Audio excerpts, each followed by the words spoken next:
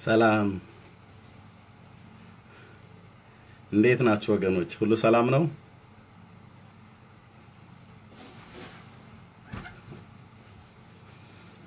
እግዚአብሔር አምላክ የተመሰገነ ይሁን። እንዴት ናችሁ?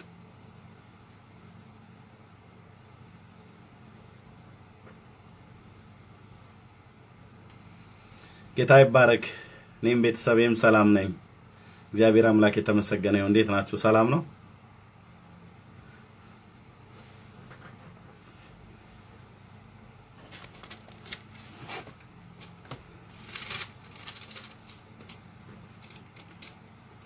እግዚአብሔር አምላክ የተመሰገነ ይሁን። ሁላችሁ እንዴት ናችሁ? እንዴት ዋላችሁ? እንዴት አደራችሁ? እንዴት አመሻችሁ? ጌታ ይባረክ።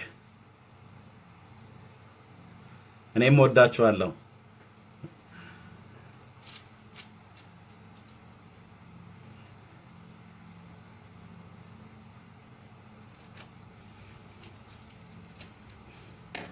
እግዚአብሔር አምላክ የተመሰገነ ይሁን።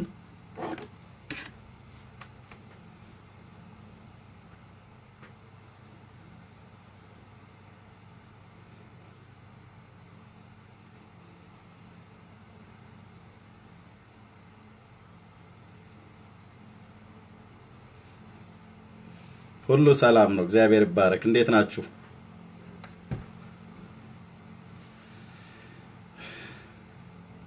ክብር ሁሉ ለእግዚአብሔር ይሁን።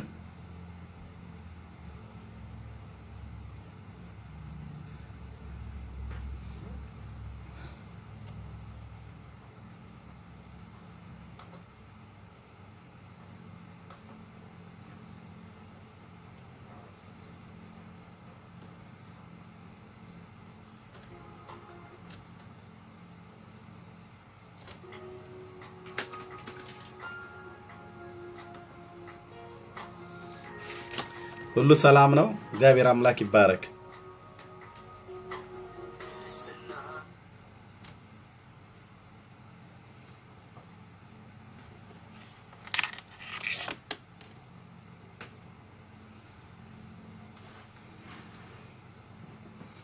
ጌታ ይመስገን። እንዴት ናችሁ? ሁላችሁም ሰላም ብያለሁ። ሁላችሁንም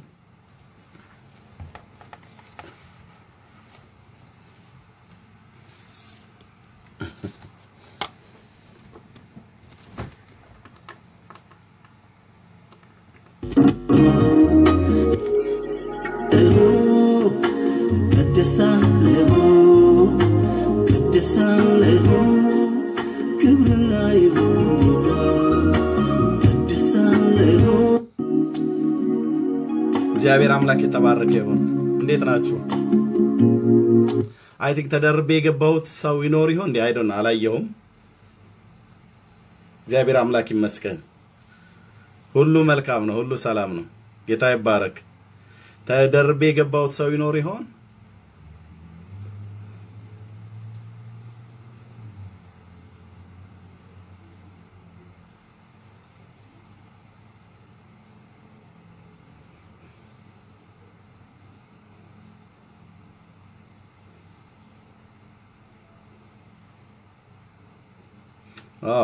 ከናቲ ጋር ተደርቤ ያለው ናቲ ናቲ ገብቷል። አይ ሶሪ እንግዲህ አላየሁም። ያ እግዚአብሔር አምላክ ይባረክ። በጽሁፍ ደረጃ እንዳስቀመጥኩላችሁ አሁን በዚህ ሰዓት ላይ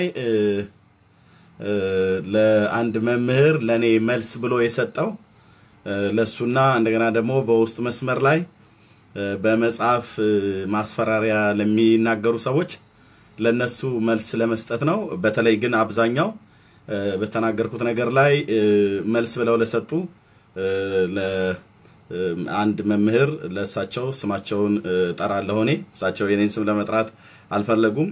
ለመምህር አቡኑ ማሞ ለእሳቸው ይህን ነገር እንደዚህ ብለህ አስተምረሃል ብለው ባሉት ላይ ምናልባት አንዳንዶቻችሁ አይታችሁት ሊሆን ይችላል።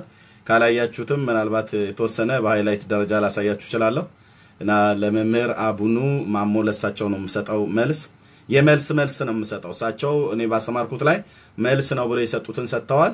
እኔ ደግሞ እሳቸው በሰጡት ላይ ቃለ እግዚአብሔር የሚለው እንደዛ አይደለም፣ በትክክል አልተተረጎመም፣ በትክክል አልተነገረም፣ በትክክል ምንድነው አልታየም ቃለ እግዚአብሔር እየተጠመዘዘ ለራሳችን ፍቃድ የተተረጉመው ብሎ የሚለውን አጽንኦት ሰጥቼ በሱ ላይ ለመናገር ነው የምፈልገው። ደግሞም በዛ አቅጣጫ ነው የምናገረው። እግዚአብሔር አምላክ ይባርካችሁ። ስለዚህ ምናልባት ይህን ዝማሬ ሰምተን ከጨረስን ቀጥታ በሱ ላይ ነው የምናገረው። ለኢትዮጵያ ኦርቶዶክስ ተዋሕዶ ቤተክርስቲያን መምህር ለሆኑት ለመምህር አቡኑ ማሞ ለሳቸው መልስ ነው የምሰጠው። የእኔ ትምህርት ላይ ከዚህ በፊት በነበረው ላይ መልስ ብለው ሰጥተዋል። እንደዚሁም ደግሞ ማስፈራሪያ የሚመስል አዘል ነገር ተናግረዋል። ለማስፈራሪያውም ከእግዚአብሔር ቃል ያለውን እንደዚሁም ደግሞ መልሱንም ከእግዚአብሔር ቃል ላለው ለዛ መልስ እሰጣለሁኝ እና እግዚአብሔር አምላክ ይባርካችሁ። ተባረኩ። ጌታ ኢየሱስ የተባረከ ይሆን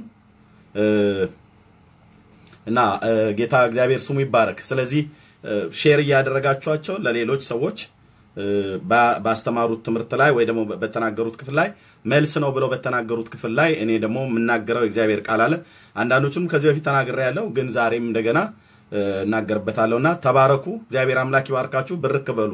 share እያደረጋችሁ እየጸለያችሁልኝ ስላላችሁ የእግዚአብሔርን ስራ አብረን ነው እየሰራን ያለ ነው። እግዚአብሔር አምላክ ለዘላለም ስሙ ይባረክ። ተባረኩ። ከዚህ ዝማሬ በኋላ ቀጥታ ወደ እግዚአብሔር ቃል ነው የምንገባው እና ይሄን ነው ብዬ የምላችሁ። ብርክ በሉ።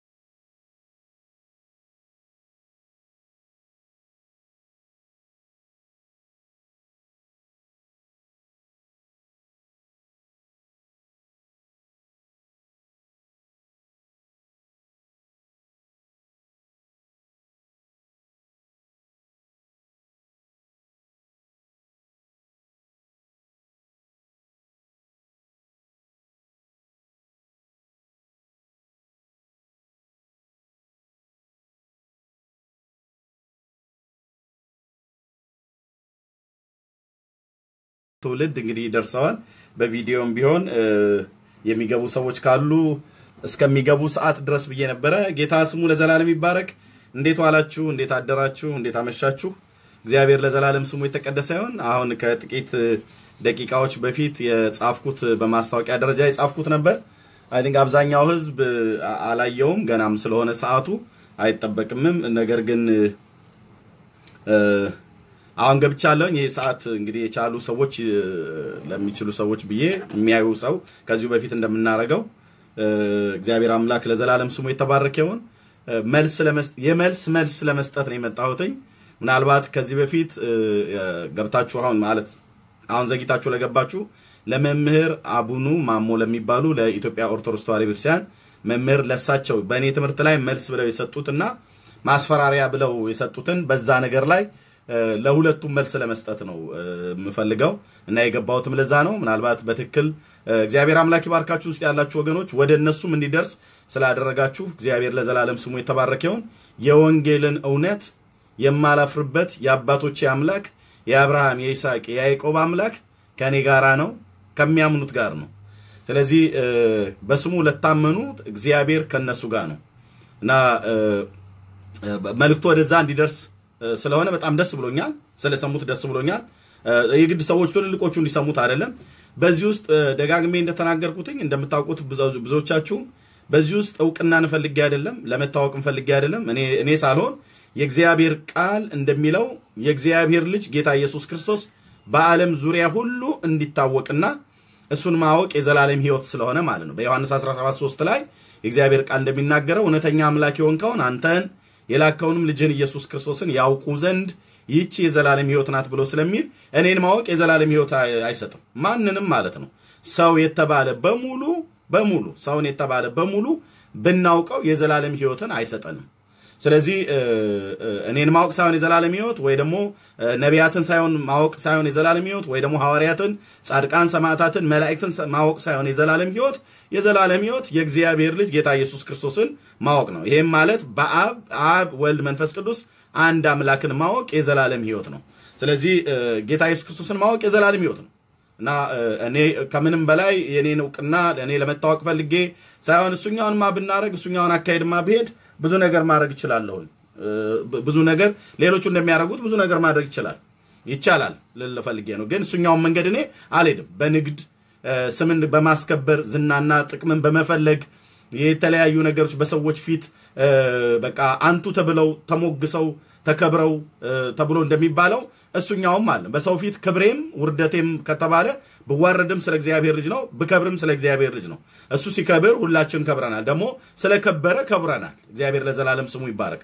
አክብሮናል። አንዴ በአብ ቀኝ በክብር ሲቀመጥ ሁሉን ወደ እኔ ስባለሁ ብሎ የዘላለምን ሕይወት ሰጥቶናል፣ አጽድቆናል፣ አክብሮናል። ሁላችንም በዚህ ጌታ ያላመኑ በክርስቶስ ኢየሱስ ሞትና ትንሣኤ ንስሐና የኃጢአት ይቅርታቸውን አግኝተው የዘላለም ሕይወት ያላገኙትን ሰዎች እነሱ እንዲያገኙ ወንጌልን ከመስበክ አቅጣጫ ነውና እግዚአብሔር ለዘላለም ስሙ የተባረከ ስለዚህ ቀጥላለሁኝ። ጌታ ለዘላለም ስሙ ይባረክ። በሮሜ መልእክት ላይ ያለውን አንድ ቃል ተናግሬ ራሱ መምህሩ ከተናገሩበት ከዛው ቃል ላይ ተናግሬ ጸልየን ነው የምንጀምረው። እግዚአብሔር ለዘላለም ስሙ ይባረክ። የአባቶቻችን አምላክ ልዑል እግዚአብሔር ከእኛ ጋራ ነው። አባቶች ብዬ የምጠራው እኔ እነኛ ደጋግ አባቶች ነው። የጥንት የጠዋቱ የሚባሉት በብሉይ ኪዳን የነበሩት አበው በሐዋርያቱም ዘመን የነበሩ አበው ከነሱም ሞት በኋላ ራሱ ሐዋርያቱም ጭምር ማለት ነው ከነሱ ሞት ወይ ደግሞ ከነሱ ህልፈት በኋላ ይህንን የጠራውን የወንጌልን እውነት ይዘው በየዘመናት መካከል ለወንጌል መስዋዕት ሆነው ያለፉ የነኛ የደጋጎች አምላክ ማን ነው? የደጋጎች አባቶች አምላክ የኔም አምላኬ ነው፣ የኔም አባቴ ነው። ያ ማለት እግዚአብሔር ማለት ነው። ለእናንተም ለሁላችንም እግዚአብሔር ለዘላለም ስሙ ይባረክ አባታችን ነው። ጌታ ለዘላለም ስሙ የተቀደሰ ይሁን። ይህንን እሳቸው ያነበቡትን ክፍል አንብቤ ነው የምጀምረው። እንደዚህ ይላል ሮሜ መልእክት ምዕራፍ 8 ከቁጥር 31 ጀምሮ እንግዲህ ምን እንላለን? እግዚአብሔር ከኛ ጋር ከሆነ ማን ይቃወመናል? ይላል። እግዚአብሔር ከኛ ጋር ከሆነ ማን ይቃወመናል? እግዚአብሔር ከኛ ጋር ከሆነ ማን ይቃወመናል? ለገዛ ልጁ ያራራለት ነገር ግን ስለ ሁላችን አሳልፎ የሰጠው ያው ከእርሱ ጋር ደግሞ ሁሉን እንዴት እንዲያው እንዴት አይሰጠን ብሎ ይላል እግዚአብሔር ቃል። ቀጥሎ እግዚአብሔር የመረጣቸውን ማን ይከሳቸዋል ብሎ ጥያቄ ምልክት አለው። እግዚአብሔር የመረጣቸውን ማን ይከሳቸዋል? ከሳሽ የለም ማለት አይደለም። የሚከስሰው ትውልድ አለ። ግን ክሱ ምንም ፋይዳ የሌለው ክስ ነው የሚሆነው። እግዚአብሔር የመረጣቸውን የሚከስሰው ምንም የሚከስሰው የለም ማለት አይደለም። እግዚአብሔር የመረጣቸውን አበው አባቶች ማለት ነው ነቢያት፣ እንደዚሁም ሐዋርያት ተከሰዋል ወይ ደግሞ በሰዎች ዘንድ ስማቸውን አጥፍተዋል፣ ስማቸውን አጠልሽተዋል። በሰዎች ዘንድም በሰዎች እጅ ሁሉ እስከ መገደል ድረስ ደርሰዋል እና እግዚአብሔር የመረጣቸውን ማን ይከሳቸዋል ይላል።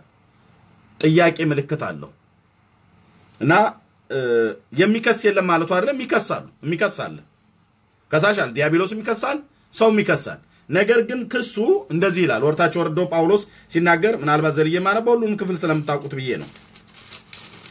የሚከሱ አሉ። ስለ አንተ ቀኑን ሁሉ እንገደላለን፣ እንደሚታረዱ በጎች ተቆጠርን ተብሎ እንደተጻፈው ነው። በዚህ ሁሉ ግን በወደደን በእርሱ ከአሸናፊዎች እንበልጣለን ይላል። ሞት ቢሆን ሕይወትም ቢሆን መላእክትም ቢሆን ግዛትም ቢሆን ያለውም ቢሆን የሚመጣውም ቢሆን መላእክት ኃይላትም ቢሆኑ ከፍታም ቢሆን ዝቅታም ቢሆን ልዩ ፍጥረትም ቢሆን በክርስቶስ ኢየሱስ ከጌታችን ካለ ከእግዚአብሔር ፍቅር ሊለየን እንዳይችል ተረድቻለሁ ይላል ጳውሎስ። ይህን ብሎ የሚለው አንደኛ ፊት ለፊት የሚቃወሙም ሰዎች ስማቸውንም የሚከሱ የተለያየ ነገር የሚያደርጉባቸው መከራን የሚያመጡባቸው ስደት የሚያመጡባቸው ማስፈራራት ዛቻን የሚያመጡባቸውን እነኚህን ሁሉ ከክርስቶስ ፍቅር እንዳይለየኝ ይህንን ተረድቻለሁ ብሎ ሐዋርያው ተናገረ። ስለዚህ እግዚአብሔር የመረጣቸውን ማን ይከሳቸዋል? ቀጥሎ የሚያጸድቅ እግዚአብሔር ነው። የሚኮንንስ ማን ነው? የሞተው ይልቁን ከሙታን የተነሳው በእግዚአብሔር ቀኝ ያለው ስለ እኛ የሚማልደው ክርስቶስ ኢየሱስ ነው ይላል። ስለ ምልጃ አይደለም ዛሬ የምናገረው። ስለ ምልጃ የያዝኑ ትምህርት አለ፣ እሱን እንቀጥላለሁ። እግዚአብሔር ግን የመረጣቸውን ስለ መቃወም ብሎ የሚለው ባለፈው ጊዜያት ላይ ባስተማርኩት ነገር እግዚአብሔር የመረጣቸውን ሰዎች ይቃወማል ወይ ደግሞ ከሷል ወይ ደግሞ ስም ማጥፋት አድርጓል ብሎ ለሚል በዛ ላይ ተነስተው ለአስተማሩት ትምህርት ለዚህ ለእኚህ መምህርና ለሌሎችም ሰዎች መጽሐፍ ቅዱስ ላይ ተነስተው ያስተማሩበት ክፍል ላይ ትክክለኛ የሆነ አስተምሮት አይደለም የሰጡት። ትክክለኛ የሆነ አተረጓጎም አይደለም የተተረጎመው። ስለዚህ እሳቸው ከተነሱበት ጥቅስ ላይ ተነስቼ ነው እኔም የምናገረው። ይህም ማለት ማለት ነው? የሮሜ መልእክት ምዕራፍ 8 ይህንን ቁጥር 33ን ጠቅሰዋል። ትንቢተ ኢሳይያስ ምዕራፍ 56ን በደንብ አድርገው ረገጥ አድርገው እሱ ላይ ቆመው ጠቅሰዋል። ከሁለተኛ ነገሥት መጽሐፍ ምዕራፍ አራት ላይ እንደዚሁም ሌሎች የጠቃቀሷቸው አሉ። ጊዜ ከበቃኝ እሄዳለሁ። ጊዜ ካልበቃኝ ግን በእነኚህ ክፍሎች ላይ እናገራለሁ። እግዚአብሔር የመረጣቸውን ማን ይከሳቸዋል ብሎ በሚለው ማለት ነው። ጌታ ለዘላለም ስሙ ይባረክ። ስለዚህ share አድርጉት ለአዳዲስ ሰዎች ለሌሎችም እንዲደርስ ማለት ነው። ጌታ እግዚአብሔር ይባርካችሁ። ተባረኩ። አጭር ጸሎት እንጸልይ። የተወደድክ ቅዱስ አባት እግዚአብሔር በነገር ሁሉ በልጅ በኢየሱስ ክርስቶስ ስም እናመሰግንሃለን። ክብር ለአብ፣ ክብር ለወልድ፣ ክብር ለመንፈስ ቅዱስ አንድ አምላክ በሰማይና በምድር ለአንተ ብቻ ይሆን። እናመሰግንሃለን። የሕይወታችን ራስ የሆንከን አንተ ነህ። የፈጠርከን የሰራህን አንተ ነህ። ምድርን ካለመኖር ወደ መኖር ያመጣህት አንተ ነህ። በሰማይና በምድር ስልጣን ያለህ አንተ ነህ። መንግሥት ሁሉን ትገዛለች። እግዚአብሔር የዘላለም አምላክ ያንተ ስላደረግከን እግዚአብሔር በኢየሱስ ክርስቶስ ስም እንደገና ስለተቤዠህን በልጅ በኢየሱስ ክርስቶስ በመስቀል ላይ ሞት የዘላለምን ሞት ልንሞት ወደምንችልበት ወደዛ በራሳችን የኃጢአት መታለል ለአንተ ባለመታዘዝና ባለመገዛት ከኤደን ገነት ከጠፋንበት ከዛ ህይወት እንደገና ጌታ አባቶይ ልጅን ኢየሱስ ክርስቶስን ወደዚህ ዓለም መድኃኒትና ቤዛ አድርገህ ወደ ራስህ ስለመለስከን እናመሰግንሃለን። ህይወት ስለሰጠን እናመሰግንሃለን። እግዚአብሔር ለዘላለም ስም የተባረከ ይሁን። ቀሪ ጊዜያችንን ባርክልን። በማስፈራራት በዛቻ እግዚአብሔር የዘላለም አምላክ ክፉ ምክርን የሚመክሩ በባሪያህ እግዚአብሔር የዘላለም አምላክ በነቢያት ቃል እንደተናገርክ አቤቱ ወደ ዛቻቸውና ወደ ምክራቸው በኢየሱስም ተመልከት ብሎ ባሪያህ ነቢዩ ንጉሱ ሕዝቅያስ እንደጸለየ እኔም በዚህ ሰዓት ጸለያለሁኝ።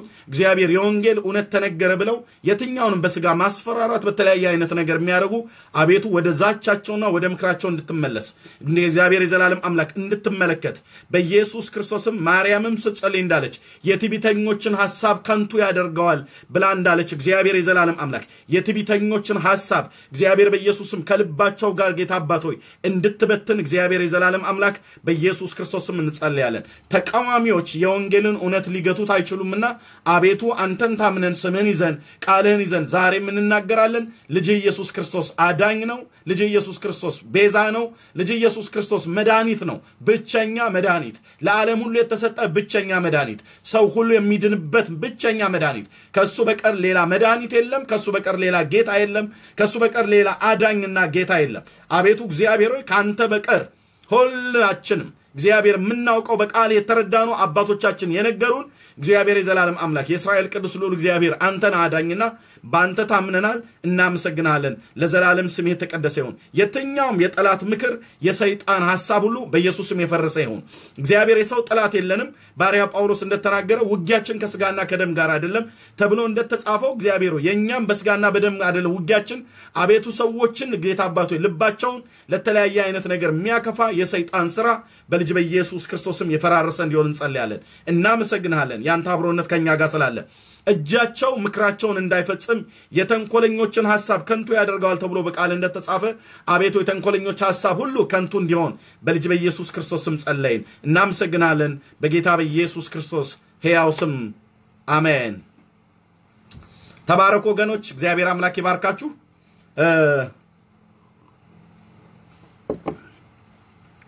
ለእኚህ መምህር ነው መልስ የምሰጠው። ማለት የመልስ መልስ ማለት ነው። ባለፈው ባስተማርኩት ላይ ስለ ስለ ስም ስሞች ስምን በሰው ልጆቻችንን በማን ስም መሰየም አለብን ብሎ በሚለው በተናገርኩት በመዝሙር 127 ላይ I think ሙሉን ክፍል የተረዱት አይመስለኝም፣ ወይም ሙሉን ክፍል ያዩት አይመስለኝም። ተቆርጦ ሊሆን ይችላል የደረሳቸው። ነገር ግን ቢሆንም ግን በዛ በተናገርኩት ላይ አዎ ተናግሬያለሁ፣ ልክም ነው የእግዚአብሔር ቃል የሚለውን ነው የተናገርኩትኝ። መዝሙር 127 ላይ ነው ልጆች በሰማይ ቢሆን በምድር የእግዚአብሔር ስጦታ ናቸው። ሰው ሰውን አይሰጥም። ሰው ሰውን አይሰጥም።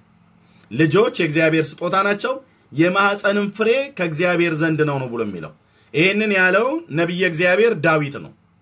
አንድ ንጉሥ ዳዊት ማለት ነው። እንደ ልቤ የተባለው ዳዊት ነው። ቅዱስ ዳዊት ነው። ስለዚህ ዳዊት ነቢይ ነው። እኔ ነቢይና ነኝና እኔ ልጅ እሰጣለሁ ብሎ አላለም።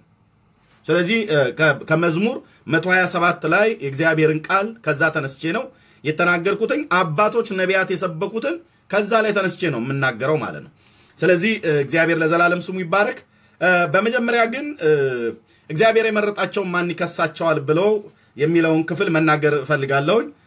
ምክንያቱም እሳቸውም ይህን ክፍል እሳቸውም ብቻ ሳይሆኑ ሌሎቹም መምህራን በሙሉ ወይ ደግሞ ሌሎችም አገልጋዮች በሙሉ በየትኛውም አቅጣጫ ላይ ያለ ማለት ነው ስለ ቅዱሳን መላእክት እንደዚሁም ስለ ቅዱሳን ሰዎች ቅዱሳን አበውና እናቶች ማለት ነው እንደዚሁም ደግሞ ስለ ጻድቃን ስለ ሰማዕታት የሚባሉ ማለት ነው ከሰው ወገን እግዚአብሔር የመረጣቸው በዘመናቸው እግዚአብሔርን ያከበሩ እነሱም በዘመናቸው አክብረውት ያለፉ እነኛን አባቶች ማንም ሰው የሚከሳቸው የለም። ቢከሳቸውም ክሱ ፋይዳ የሌለው ክስ ነው የሚሆነው። ምክንያቱም የመረጣቸው እግዚአብሔር ነው። አሁን ለምሳሌ አቤልን መጥቶ አንድ ሰው ማለት ከመጀመሪያው ብንጀምር ከጻድቁ ከአቤል ደም ብሎ ስለሚል ጌታ ማለት ነው። ከዛ ከአቤል ጀምሮ አቤል ትክክል አይደለም ብሎ ማንም ሰው መክሰስ ሊችል ይችል ይሆናል። ግን ክሱ ፋይዳ የሌለው ክስ ነው። እንኳን አቤልን ቀርቶ አይደለም እግዚአብሔርን ሰዎች ይከሱት የለ እንዴ? እግዚአብሔርን ሰዎች ይነቅፉት የለ እንዴ? እግዚአብሔርን ሰዎች ይሰድቡት የለ እንዴ? እና ግን እግዚአብሔርን ሰደቡ ማለት እግዚአብሔር በቃ የሚሸማቀቅ ወይ ደግሞ የሚያፍር ወይኔ በቃ ምን ተገኘብኝ ብሎ የሚል አይደለም። እንደዚሁ እግዚአብሔር የመረጣቸውን ሰዎች ሰዎች ተነስተው ይከሷቸዋል። ሰዎች ቢከሷቸው በሕይወታቸው ድካም ተገኝቶ ቢከሷቸው የተለያየ አይነት ነገር ተገኝቶ ቢከሷቸው ድካማቸውን ተንተርሰው ነው የከሰሱት ተብሎ ሊባል ይችል ይሆናል። ነገር ግን እግዚአብሔር የመረጣቸውን እሱ እንዲያገለግሉት የመረጣቸው በዘመናቸው እግዚአብሔርን አክብረውት እሱም አክብሯቸው ተመርጠው አገልግለውት በሕይወት ዘመን አገልግለውት ያለፉ ቅዱሳን አበው ሐዋርያትና ነቢያት እንደዚሁም ደግሞ እናቶች በአዲስ ኪዳንም በብሉይ ኪዳንም ያሉ ከፍጥረት ዓለም ጀምሮ ያሉ ማለት ነው። እግዚአብሔር ስለመረጣቸው ማንም የሚከሳቸው የለም። ቢከስስ የሚከስ ትውልድ የለም ወይ? ሊኖር ይችላል። የሚከሰው ግን ክሱ ፋይዳ የሌለው ትርጉም የሌለው ተቀባይነት የሌለው ማለት ነው። ለምሳሌ በእግዚአብሔር መላእክት ላይ በቅዱሳን ሰዎችም ላይ ማንም ሰው እኔ ጋር መጥቶ ቢከስ ክሱን በእኔ ዘንድ ተቀባይነት አይኖረውም። በደንብ ይሄን ነገር ይሄን ቪዲዮ በደንብ ሰዎች እየሰሙ ስለሆነ በደንብ ነው የምናገረው። ለምሳሌ መላእክት እግዚአብሔርን ቅዱሳን መላእክትን ማለት ነው እነ ቅዱስ ሚካኤል እነ ቅዱስ ገብርኤልን የሚከስ ሰው ካለ ክሱ ፋይዳ የሌለው ክስ ነው የሚሆነው። በምን አይነት መልክ ነው የሚከሰው? ቅዱሳን መላእክት አይከሰሱም። ምክንያቱም የሚከሰሱበት ነገር አላደረጉማ። መጽሐፉም ያደርጋሉ ብሎ አላለንም። ከወደቀው መላእክት ከሰይጣን ውጭ ያሉት ሌሎቹ ብርሃናዊ መላእክት በሙሉ አይከሰሱም አይከሰሱም። ይሄ ማለት ቅዱስ ሚካኤል አያማልድም ማለት ግን መክሰስ ማለት አይደለም። የመላእክት አስተምሮት ላይ እግዚአብሔር ጊዜ ይሰጠናል፣ እድሜም ጨምርላል፣ ጸጋንም ያበዛልናል። ባለፈውም ደጋግሜ እንደተናገርኩት እመጣለሁ በእያንዳንዱ ላይ ቅዱሳን በእግዚአብሔር ቅዱሳን መላእክት በሰውና በእግዚአብሔር መካከል ያላቸው ግንኙነትና ያላቸው ስራ ከፍጥረታቸው ጀምሮ አገልግሎታቸው በሰውና በእግዚአብሔር መካከል ያላቸው ድርሻ በዘላለም ድነት ጉዳይ ላይ ያላቸው ድርሻ ምንድን ነው ብሎ የሚለውን መጽሐፍ ቅዱስ ስለሚነግረን ማለት ነው። ከማንም ይልቅ ቅዱስ የሆነ እግዚአብሔር ቃል ስለሚነግረን መጽሐፉ ይነግረናል። ሌሎች ስለ መላእክት እንዲነግሩን አንጠብቅም። የእግዚአብሔር ቃል ይነግረናል። ሚካኤል የመላእክት አለቃ ነው ብሎ ያለኝ የሆነ የእምነት ድርጅት አይደለም፣ መጽሐፉ ነው። ሐዋርያው ይሁዳ በመልእክቱ ላይ ምዕራፍ አንድ ቁጥር ዘጠኝ ላይ የመላእክት አለቃ ነው ይላል። ስለዚህ ገብርኤል አብሳሪ መሆኑን መጽሐፍ ቅዱስ ነው የነገረን። ይህን መጽሐፍ ደግሞ የጻፉት የዕብራውያን አባቶች ናቸው። ብሉይ ኪዳንን በተመለከተ አዲስ ኪዳንን በተመለከተ ማንም ሰው አልጻፈም። በአስራ ሁለቱ ሐዋርያት የተነገረው ወንጌል እነኛ ሐዋርያት ዕብራውያን ናቸው፣ አይሁዳውያን ማለት ነው። የቀደሙትም ነቢያት በሙሉ ዕብራውያን ናቸው። ምናልባት ከሉቃስ ውጭ ማለት ነው፣ የአዲስ ኪዳን መልእክት ማለት ነው። ከሉቃስ ውጭ ሉቃስ ግሪካዊ ሰው ስለሆነ በሐዋርያቱ ዘንዳና በሐዋርያቱ ተርታ የሚመደብ አልነበረም። ከነኛ ከተመረጡት ከአስራ ሁለቱ ብሎ ከሚለው ማለት የቃሉ አገልጋዮች ከሆኑ ግን ሰምቶ ጽፏል። ሉቃስንና ራሱ የሉቃስ ወንጌልና የከበርህ ቴዎፍሌዎስ ወይ ብሎ ለቴዎፍሌዎስ ለተባለ ግለሰብ ነው የጻፈው። ከቃሉ አገልጋዮች ከሆኑ ከእውነተኛ በወቅቱ የነበሩ ከነሱ ሰምቶ ማለት ነው ቃል እግዚአብሔርን። እንደዚሁም የሐዋርያት ስራንም የጻፈው እሱ ነው። ምን ለማለት ፈልጌ ነው? ስለዚህ በእነዚህ አባቶች ነው የተጻፈው። ስለዚህ እነዚህ አባቶች መላእክት ስራቸው ምን እንደሆነ ድርሻቸው ምን እንደሆነ በእግዚአብሔርና በሰው መካከል ምን እንደሆነ በዚያን ወቅት ላይ በነበረው ዘመን መላእክት ሲገለጡ ምን አይነት ነገር ይናገሩ ነበር፣ ምን አይነት ነገር ያደርጉ ነበር ብሎ የሚለው ማንም ሰው ሊነግረኝ እስከማይችል ድረስ የአይሁዳውያን የዕብራውያን አባቶች ጽፈውልናል። ስለዚህ ያው ማንም ስለ መላእክት አገልግሎት መጥቶ ስለመገለጥ ስለመሄድ መጠየቅ ካለብኝ በዚህ ዘመን ያለውን ትውልድ ሳይሆን የምጠይቀው ዳንኤልን ስጠይቀው ዳንኤል መላእክት እየተገለጡ ይናገሩት ከእግዚአብሔር ዘንድ መልእክት ይዘው እየመጡ ይናገሩት ስለነበረ ከዳንኤል ትንቢት መጽሐፍ ላይ ነው የማነበው። ከሌላ ከየትም አልቀዳም። ጳውሎስ ጋር መጥቷል፣ ጴጥሮስ ጋር መጥቷል። ልክ እንደዚሁ ይህንን በራሱ የቻለ ትምህርት ስላለው እዛ ላይ እመጣለሁ። ነገር ግን እግዚአብሔር የመረጣቸው ማን ነው የሚከሳቸው? ማንም ተነስቶ ሊከስ ይችላል፣ መብቱ ነው። እከሳለሁ ብሎ የሚል ማለት ግን ክሱ በቃ ከንቱ የሆነ ክስ ነው የሚሆነው። ለምን እግዚአብሔር የመረጣቸው ሰዎች እግዚአብሔርን ያከበሩት እንጂ እኛን አክብሩን ብለው አላሉማ። ነገር ግን እግዚአብሔር መርጧቸው እግዚአብሔርን ትተው እግዚአብሔርን ወደ ኋላ አድርገው እነሱን አስቀድመው እኛን አክብሩን ብለው ቢሉ ለምን ብለን እንጠይቃቸው ነበር። ይህንን ግን ያለ አንድም ነቢይ አንድም ሐዋርያ የለም። እኔ ላንስ እኔ ላንስ እሱ ሊልቅ ይገባል እያሉ ነው የነገሩ ነቢያት እግዚአብሔር። እርሱን ስሙት እያሉ ነው የነገሩ ነቢያት እግዚአብሔር። በስሙ ንስሐና የኃጢአት ይቅርታ ይገኛል እያሉ እግዚአብሔርን ከፍ እያደረጉ እነሱ ራሳቸውን እያሳንሱ ነው የነገሩን። እኛንም አክብሩን እያሉ አይደሉም የነገሩን፣ እግዚአብሔርን አክብሩ እያሉ ነው የነገሩን። ስለዚህ የትኞቹም ቅዱሳን አባቶች፣ ቅዱሳን እናቶች ወይ ደግሞ ቅዱሳን መላእክት እነሱን እግዚአብሔር ስለመረጣቸው እየከሰሷቸው ነው ብሎ የሚል ይሄ አሁን እኛ ላይ ዛሬ ላይ የተጀመረ ሳይሆን በእምነት ደረጃ ከተባለ የፕሮቴስታንት ሃይማኖት መላእክትንም ቅዱሳንንም አባቶችንም እማያከብር መደዴ የእግዚአብሔርን ቃል ማናቅ እንደው ካወቅንም በስንዴና በሰልባጅ የመጣ ነው እያሉ በየአውደ ምሕረቱ የአፋቸው ማሟሻ ያደረጉን ራሳቸው ናቸው። ሲጀምር ማን ነው መንቀፍ የጀመረ? ማን ነው መሳደብ የጀመረ? ይመልሱልኝ። አሁን ለዚህም ለዚህም መልስ ማለት ነው። ማን ነው መዝለፍ የጀመረ? እኔ አሁን ዘለፋ ውስጥ አልገባሁም። ስለተዘለፍን እንዝለፍ ማለት አይደለም። ማን ነው ግን መዝለፍ የጀመረ? የወንጌልን እውነት በአስራ አራተኛው መቶ ክፍለ ዘመን ሁሉ ጀምሮ ማለት ነው የቤተ ክርስቲያኒቱ አገልጋዮች የነበሩ ሰዎች እኮ ደማቸው እንደ ጎርፍ እስኪፈስ ድረስ ተቀጥቅጠዋል፣ ተገለዋል። ታሪክ እኮ አለ፣ ታሪክ አለ። ይሄ ዓለም ያወቀው ታሪክ አለ፣ ፀሐይ የሞቀው ታሪክ አለ። ማን ነው ኢየሱስን ሲጠራ አሁን እኛ ቅዱሳን መላእክትን ሲጠሩ ደማችሁ ይፈላል ምናችሁ ምንድነው ጸጉራችሁ ይቆማል እያሉ ብለው የሚሉ ሰዎች እኔ ቅዱስ ሚካኤል ስሙ ስለተጠራ ቀኑን ሙሉ ቢጠራ እኔ የሚከፋኝ አይደለም። እውነተኛው ቅዱስ ሚካኤል ከሆነ ማለት ነው የእግዚአብሔር መልአክ ከሆነ ምክንያቱም እሱ የአምላኩን ክብር የአምላኩን ክብር የአምላኩን ምስጋና የአምላኩን ክብር የሚፈልግ እንጂ የእሱን ክብር የእሱን ምስጋና የሚፈልግ መላእክት እንዳልሆነ የእግዚአብሔር ቃል በግልጸት ይነግረናል። ላመስግንህም ላክብርህም ብዬ ብለው ለምን እኔን ታከብራለህ ነው ብሎ የሚለው ማክበር ብሎ የሚለው ነገር በደንብ ራሱ መተርጎም ያለበት ቃላት ነው። ዘንድሮ ሰዎች አከበርን ብለው በጣም ነገሩን ለጥጠውት ወስደውት ባልሆነ አቅጣጫ አክብሮት አምልኮ ተደርጎ ማለት ነው። አክብሮ አምልኮ ተደርጎ ወደ አምልኮነት ተቀይሮ በእኛ በኢትዮጵያውያን ወይ በኤርትራውያን መዝገበ ቃላት ማለት ነው። ይሄ በጽሁፍ ደረጃ ያለው ሳይሆን ቅዱሳን መላእክትን እንኳን ቅዱስ መላእክትን ቅዱሳን መላእክትን ቀርቶ አይደለም ሰዎችን እንድናከብር ይሄ እግዚአብሔር ቃል ያዘናል ያዘናል። አባትን እናትን እንድናከብር ያዘናል። ቅዱሳን መላእክትማ ይከበራሉ። ሳከብራቸው ግን መጽሐፍ ቅዱስ በሚለው መሰረት ነው። አከበርኳቸው ብዬ ለነሱ ስግደት፣ ለነሱ አምልኮ፣ ለነሱ ዝማሬ፣ ለነሱ ማጠን መጽሐፍ ቅዱስ አይፈቅድም። እንደማይፈቅድ ራሱን እኔ እዚህም እዛም አልረግጥም።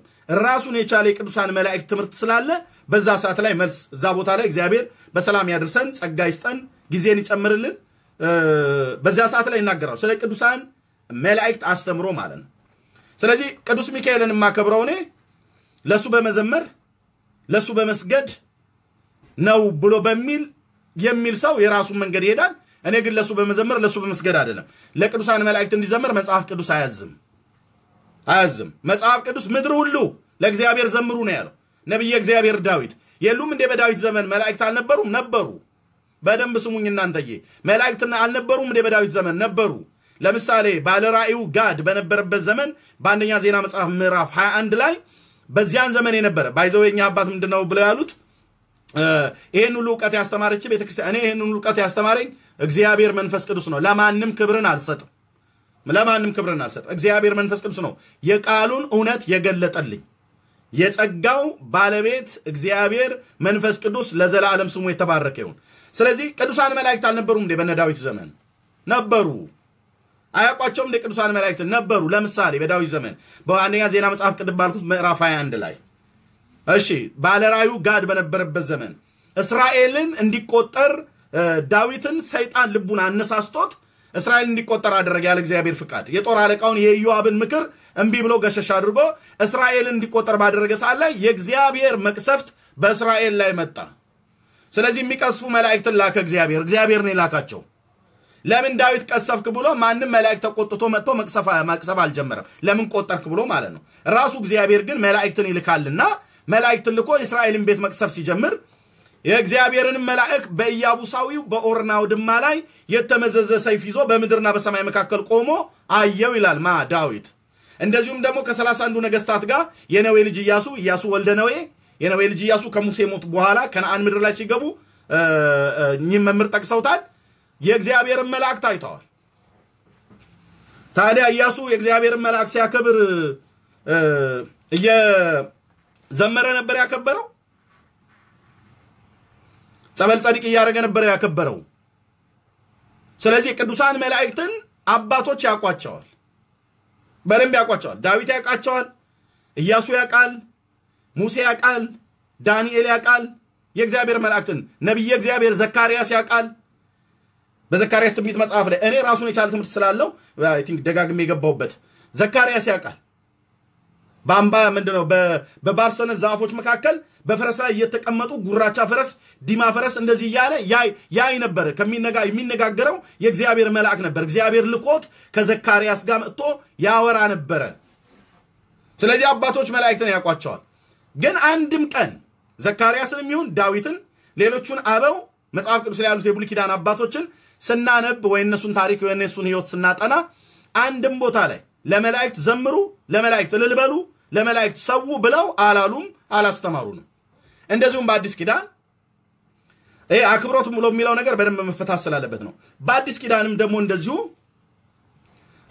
ለሐዋርያው ጳውሎስ ሲጀምር ከጌታ ከኢየሱስ ክርስቶስ ጀምሮ የቅዱሳን መላእክት አገልግለውታል። ግን ለቅድስት ድንግል ማርያም ተገልጧል መልአኩ፣ ለዮሴፍ ተገልጧል፣ እንደዚሁም ለእነ ጳውሎስ ተገልጧል። በዛ በመርከቡ ላይ እየሄደ እያለ ለጴጥሮስ በወህኒ ተገልጦለታል። የእግዚአብሔር መልአክ ተገልጠዋል። ሲገለጡ ግን አንድም ቦታ ለሐዋርያቱም ለነቢያቱም ለሐዋርያቱም ስገዱልን፣ ሰውልን፣ እጠኑልን ብለዋል አሉ። እኛ አሁን ቅዱሳን መላእክትን እናከብራለን። ማንም ሰው ተነስቶ አያከብሯቸውም፣ አዋረዷቸው፣ አቃለሏቸው ብሎ የሚለውን እኛ እንደዚህ አይነትን ክስ እኛ አንሰማም። ለምን? ቅዱስ መላእክትን ከእግዚአብሔር ቃል ተረድቼ ስለማቃቸው መጽሐፉ ስጠው ብሎ ባለው መሰረት ብቻ ነው ለመልአኩ ክብርን የምንሰጠው። ስለዚህ እኔ አሁን ቅዱስ ሚካኤልን እግዚአብሔር ልኮት በሚገለጥበት አካል ተገልጦ እስካላየው ድረስ በሌለበት ቅዱስ ሚካኤል ክብርና ምስጋና ለስም ይሁን ብሎ ማለት ትክክለኛ ጸሎት አይደለም፣ ትክክለኛ አክብሮትም አይደለም ነው። ይሄ ነው እውነቱ። ስለዚህ ቅዱሳን መላእክትን እንደዚሁም ደግሞ ቅዱሳን አባቶችንም አያከብሩም፣ ቅዱሳን እናቶችንም አያከብሩም። እኛ መጽሐፍ ቅዱስ መጽሐፍ ቅዱስ ጠላትን ውደድ ብሎ የሚል መጽሐፍ ነው የያዝኑ እጃችን ላይ ደጋግሜ እንደተናገርኩት ከዚህ በፊትም ስፔሻሊ ከቅድስት ድንግል ማርያም ጋር ከሌሎችም ቅዱሳን ነቢያትና ሐዋርያት ጋር ለማጣላት ለማጋጨት እነሱ አይጋጩንም እነሱን እናፍቅራለን ብለው የሚሉ ሰዎች ናቸው እንጂ እየመጡ የሚጋጩን። እኔ ቅድስት ድንግል ማርያም እስከ ዛሬ ድረስ የሚያገለግለው እግዚአብሔርን ነው የማገለግለው እግዚአብሔርን ነው። የእግዚአብሔርን ድምፅ እሰማለሁኝ። በዮሐንስ ወንጌል ምዕራፍ 10 መሰረት በጎቼ ድምፄን ይሰማሉ ብሎ ስለሚል እግዚአብሔር እስከዚህ ድረስ የሚናገር አምላክ ስለሆነ እኔም ልጁ ስለሆንኩ በጸጋ የዳንኩኝ በልጁ በክርስቶስ ኢየሱስ ሞት ከአመድ ከትቢያ ከአፈር አንስቶ ልጁ ያደረገኝ በዳግም ልደት የወለደኝ የዘላለምን ሕይወት የሰጠኝ ልጁ ስለሆንኩኝ እግዚአብሔር እስከዚህ ድረስ ይናገራል። ስለዚህ እስካሁኑ ድረስ እግዚአብሔርን ሳገለግል በእነኛ 18 ዓመታት ውስጥ አንድ ቀንም እግዚአብሔር ለምን እናቴን ቅድስት ድንግል ማርያም እንደዚህ ተናገርክ ብሎ ጌታ ኢየሱስ ተቆጥቶኝ አያውቅም። ምክንያቱስ መጽሐፍ ቅዱስ ብሎ በሚላት መሰረት ቅድስት ድንግል ማርያምን እማከብራት እኔ ነኝ። ማንንም ለማስደሰት ማንንም ለማበሳጨት ብዬ አይደለም። ይህም እኔም ብቻ ሳይሆን ሌሎቻችሁም ጭምር ማለት ነው። ይህን የምታደርጉት አማኞች፣ የወንጌል አማኞች። ከዚህ ውጭ የተንሻፈፈ መንገድ ግን የምትሄዱ ሰዎች ካላችሁ አስተካክሉ ነው ብለን የምንለው። የእግዚአብሔር መላእክት መጽሐፍ ቅዱስ ላይ ያሉት የጌታ እናት ቅድስት ድንግል ማርያም መጽሐፍ ቅዱስ ላይ ያላችሁ የማንንም ልብ ለማሞቅም ለማቀዝቀዝም ብዬ የምናገረው ነገር የለም።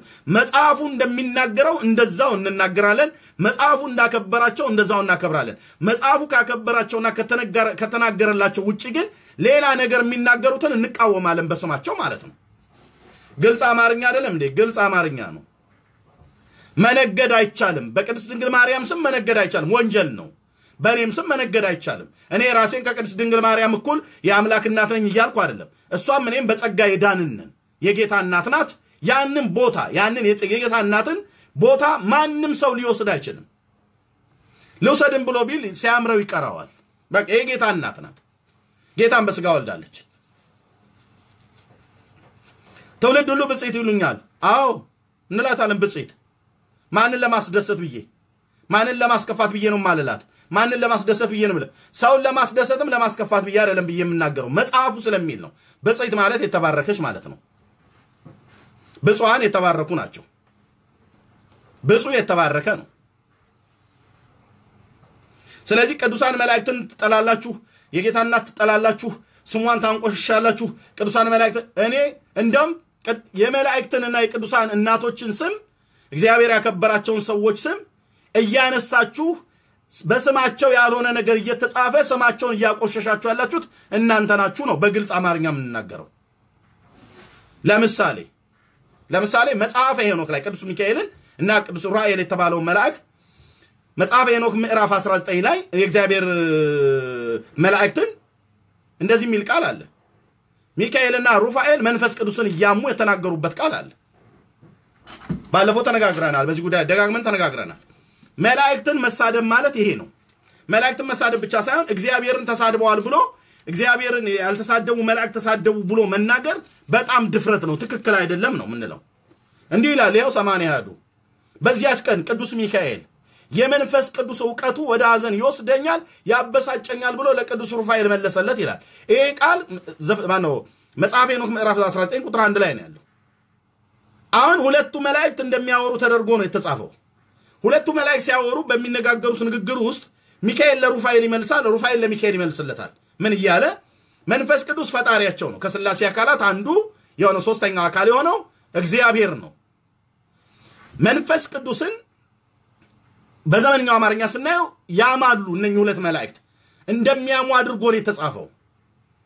በዚያች ቀን ይላል። ቀኒቱ የትኛዋ ቀን እንደሆነች ባይታወቅም በየትኛውም ቀን ይሁን ያለፈም ይሁን አሁንም ያለ ይሁን ወደፊትም ያለ ይሁን በየትኛውም ቀን በዚያች ቀን ቅዱስ ሚካኤል የመንፈስ ቅዱስ እውቀቱ የመንፈስ ቅዱስ እውቀት ወደ ሐዘን ይወስደኛል፣ ያበሳጨኛል ብሎ ለቅዱስ ሩፋኤል መለሰለት ይላል።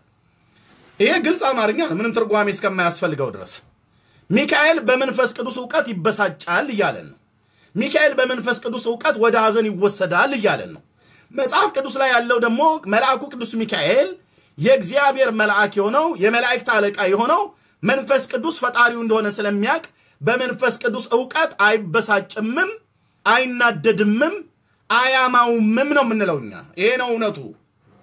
መላእክትን አለማክበር ማለት ይሄ ማለት ነው እንጂ ቅዱስ ሚካኤል አያማልደኝም ማለት መላእክትን አለማክበር አይደለም። ምክንያቱም መላእክት ያማልዳሉ ብሎ የሚል የትኛውም ቦታ ላይ ስለሌለ ራሱን የቻለ ትምህርት ስላለው ማለት ነው። ስለ መላእክት ለመናገር አይደለም የመጣሁት ቅዱሳንን ስለ ማክበርና ስለ አለማክበር የተነገረ ነገር ስለሆነ ማለት ነው። እኛ ቅዱሳን እናከብራለን።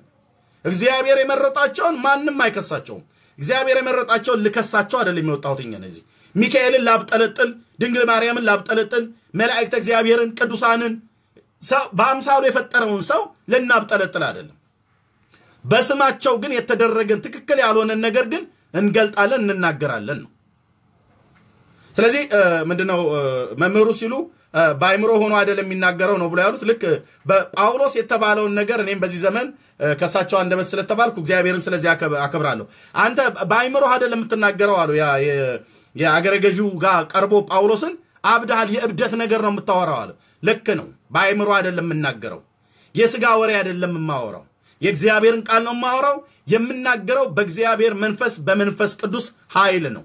የኢየሱስ ክርስቶስን ጌትነት ከፍ እያደረግኩ የእግዚአብሔርን ጌትነት የአብ የወልድ የመንፈስ ቅዱስን ጌትነት አምላክነት ዘላለማዊ ኃይሉ ክብሩና ምሕረቱ የሰው ልጆች የወደደበትን ፍቅር እሱን ከፍ እያደረግኩ በእግዚአብሔርም ስም ይሁን እግዚአብሔር በመረጣቸው በቅዱሳን መላእክትም ስም ይሁን በጻድቃን በሰማዕታትም ስም ይሁን አግባብ ያልሆኑ ነገሮች የተሰሩና የተጻፉትን ግን እነሱን እቃወማለሁ። የማንም ማስፈራራት የማንም ዛቻ አያቆመኝም። የያዕቆብ አምላክ መጠጊያዬ ነው። የእስራኤል ቅዱስ መሸሸጊያዬ ነው። ጌታ ኢየሱስ ከኔ ጋራ ነው።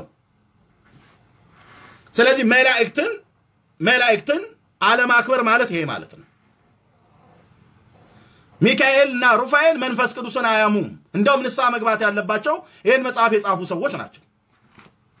አያማም። ሚካኤል ተራ መንደር የመንደር ወሬኛ አድርገውት እንደዚህ የመላእክትን አለቃ አሳንሶ ከዚህ የበለጠ ማለት የምትሳደቡ ኦርቶዶክሳውያን ለምን አሁን ለምን አጽፉ ነበር ታዲያ? ጭጭ ብላችሁ የምታዩ ማለት ነው።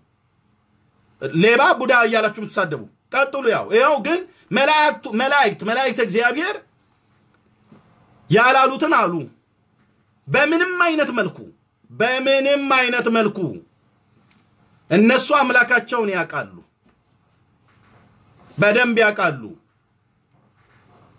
ቅዱስ ሚካኤል እንኳን በመላእክት እንኳን አይደለም እንኳን አይደለም በመንፈስ ቅዱስ ላይ የስድብን ቃል ሊናገር ቀርቶ አይደለም።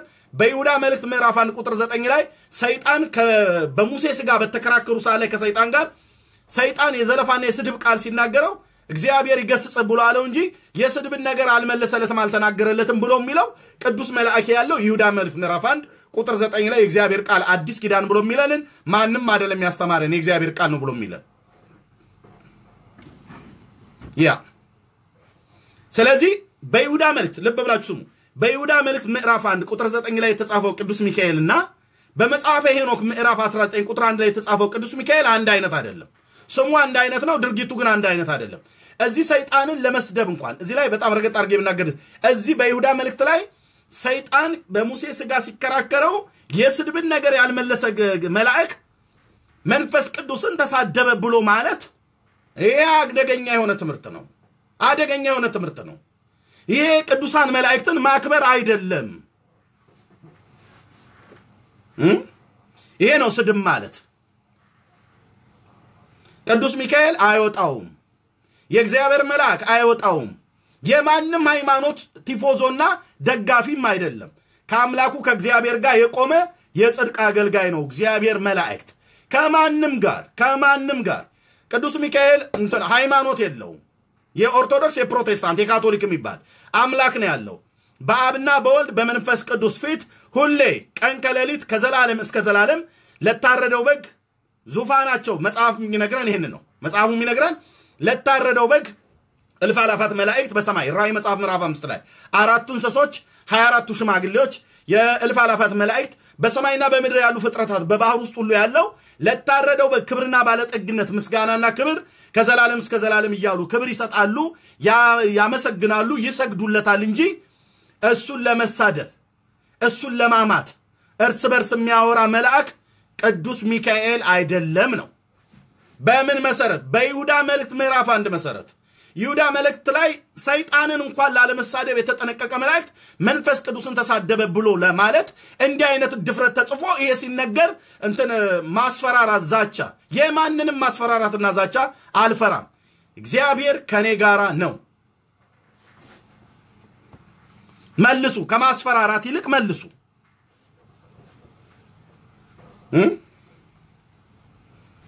በማስፈራራት በማስፈራራት ከተባለ ብዙ ነገር መናገር እንችላለን። በሃይማኖት ደረጃ በምድራችን ላይ ስንቱ ንጹሐን ሰዎች ተገለዋል። በእናንተ ትምህርት የሞተ አስከሬን እንኳን እያወጡ እስከ ማቃጠል የደረሱበት ማለት ነው። እናትና ልጅን አፋተዋል። በዋቃሽ አይባረክም ኢየሱስ ጌታ ነው ብላ ካለች ልጅቷ በዋቃሽ አይባረክም አባሯቸው፣ አሳዷቸው እየተባለ ስንት ነገር ተብሏል።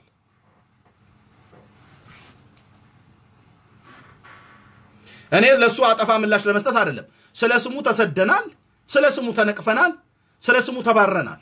በቃ ግን ቅዱሳን መላእክትን እንደማናክብር፣ ቅዱሳን አበውን እንደማናክብር፣ ቅዱሳን ሐዋርያትና ነቢያትን እንደማናክብር፣ የጌታን እናት ቅድስት ድንግል ማርያምን እንደማናክብር አድርጋችሁ የምትናገሩት ነገር ትክክለኛ አይደለም።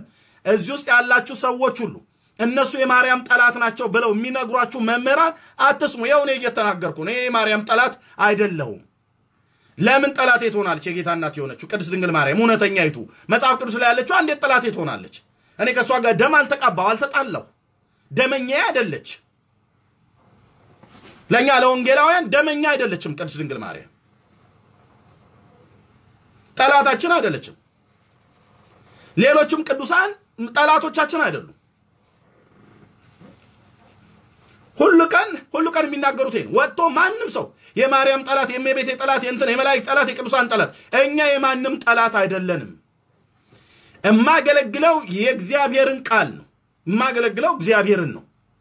እግዚአብሔር ሰዎችን በጥላቻነት ግደለው፣ ቁረጠው፣ ስበረው፣ አጥፋው እንደዚህ እያልክ በል ብሎ አላከኝም።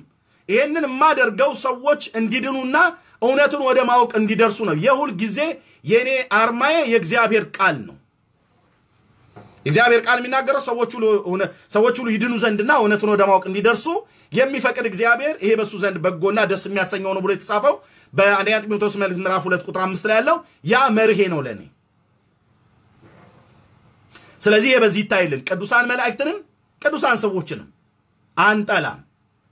ሰማችሁም አልሰማችሁም፣ ተረዳችሁም ማንንም ሰው ከዚህ ውጭ ምንም ልንረዳቸው አንጠላም። የፈለጉትን ያውለብልቡ ባንዲራ አንጠላም። ተጣሏቸዋል፣ እኛ አንጠላም። መጽሐፉ እንደዛ አይለንም። በስማቸው ግን የተጻፈ በስማቸው ግን አግባብ ያልሆነ ነገር ሲደረግ ግን ትክክል አይደለም እንላለን። ትክክል አይደለም፣ ለትክክል አይደለም እንላለን። ትክክል አይደለም እንላለን። አይ ትክክል በሉልን ብላችሁ ብላችሁ ካላችሁ በመጽሐፍ ቅዱሳዊ መሰረት ነው ትክክል የምንለው። ካልሆነ ግን ከመጽሐፍ ቅዱስ ውጭ የሆነውን ትክክል አይደለም ብለን እንላለን። ሌላ ጥቅስ አሁን ሌሎችን ጥቅሶች በመጥቀስ አላደክማችሁም። ራሱን የቻለ ትምህርት ስላለን መልሳለሁ። ሚካኤል ሄኖክ መጽሐፍ ላይ መንፈስ ቅዱስን ያማል፣ መንፈስ ቅዱስን ይሳደባል ከሩፋኤል ጋር ሆኖ። ይሁዳ መልእክት ላይ ደግሞ ሰይጣንን እንኳን ላለመሳደብ የተጠነቀቀ መላእክት ነው። ታዲያ ሰይጣንን ላለመሳደብ የተጠነቀቀ መላእክት በሙሴ ስጋ ሲከራከረው እንዴት አምላኩን ይቃወማል? እንዴት አምላኩን ይሰድባል? እንዴት አምላኩን ያማል? መንፈስ ቅዱስ ፈጣሪው አይደለ ወይ?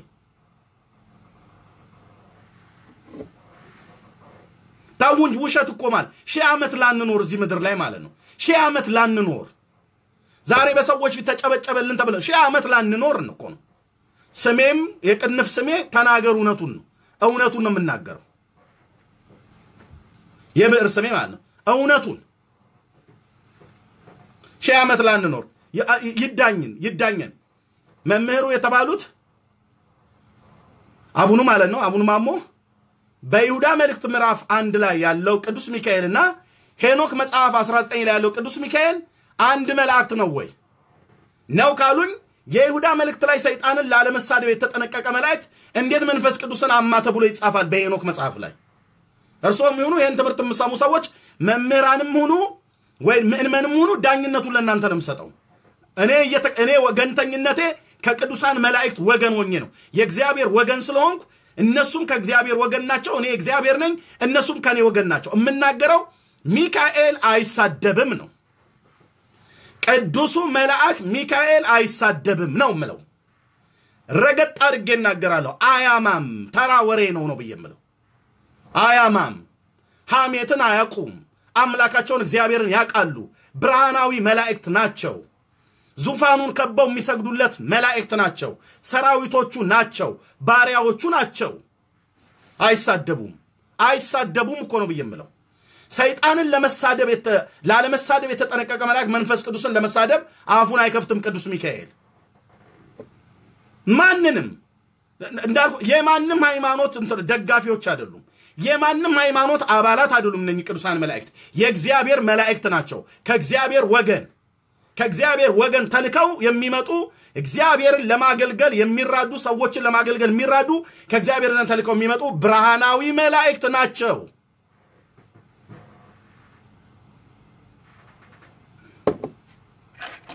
ስለዚህ እናከብራለን። እኛ ቅዱሳን መላእክት እናከብራለን። ራሱን የቻለ ትምህርት አልመጣለሁ። ደጋገምኩት ይህን ቃል እግዚአብሔር የመረጣቸውን ማን ይከሳቸዋል ብለው ስላሉ ከዛ ስለተነሳው ማለት ነው።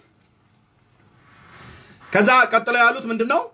ቅዱሳንን በስማቸው ቤተክርስቲያን ብንሰራም ታቦተ ሕግን ብንቀርጽ በሙሉ የእግዚአብሔር ታቦት ነው የሚባለው አሉ። አይልማ አይል መጽሐፉ አይልም። መጽሐፉ አለማለት ብቻ ሳይሆን ራሱ የማርያም ታቦት የማርያም ታቦት የሚል ስያሜ ነው ያለው። የእግዚአብሔር ታቦት የሚል ስያሜ የለውም። የሚካኤል ታቦት የሚካኤል ታቦት የሚል ስያሜ ነው ያለው። ታቦተ ሚካኤል ነው የሚለው። ታቦተ ማርያም ነው የሚለው። ታቦተ ቅዱስ ጊዮርጊስ ነው ብሎ የሚለው። ታቦተ እግዚአብሔር አይልም። ቤተ ክርስቲያኑም በእነሱ ስም ህንፃ ሲታነጽ የተሰራው የሚሰራው የቅዱስ ማርያም ቤተክርስቲያን ነው ብሎ የሚለው የቅዱስ ጊዮርጊስ ቤተክርስቲያን ነው ብሎ የሚለው አይ ስሙ ነው እንጂ የነሱ እግዚአብሔር ነው ብሎ ነገር የለም። ያ መብት ሊሆን ይችላል፣ ግን እኔ እስከዚህ ድረስ እውነት እናገራለሁ። አሁን ሃይማኖት በማፍረስ ነው ወይ አይደለም? የፈለጋችሁትን በሉ። ሃይማኖት በማፍረስ ሳይሆን እውነቱ ግን ይሄ ነው ወይ ነው።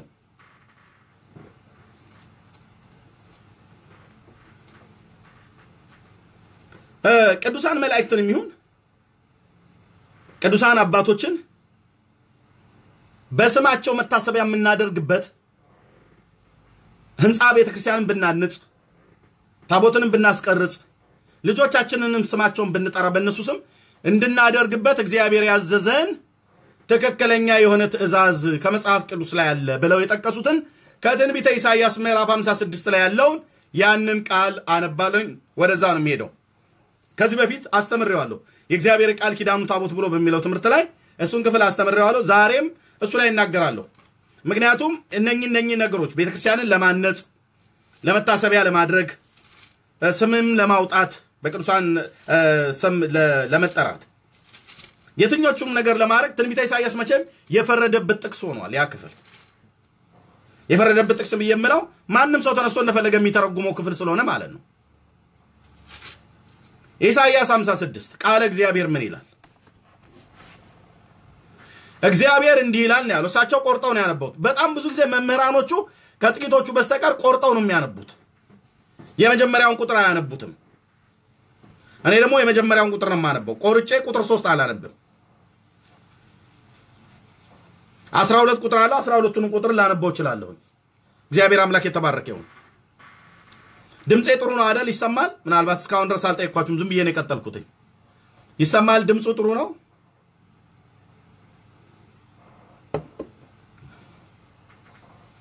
እንድትመልሱ አንድ ሰው እንዲመልስልኝ ይጠብቃለሁ። ድምፁ ጥሩ ነው? ይሰማል?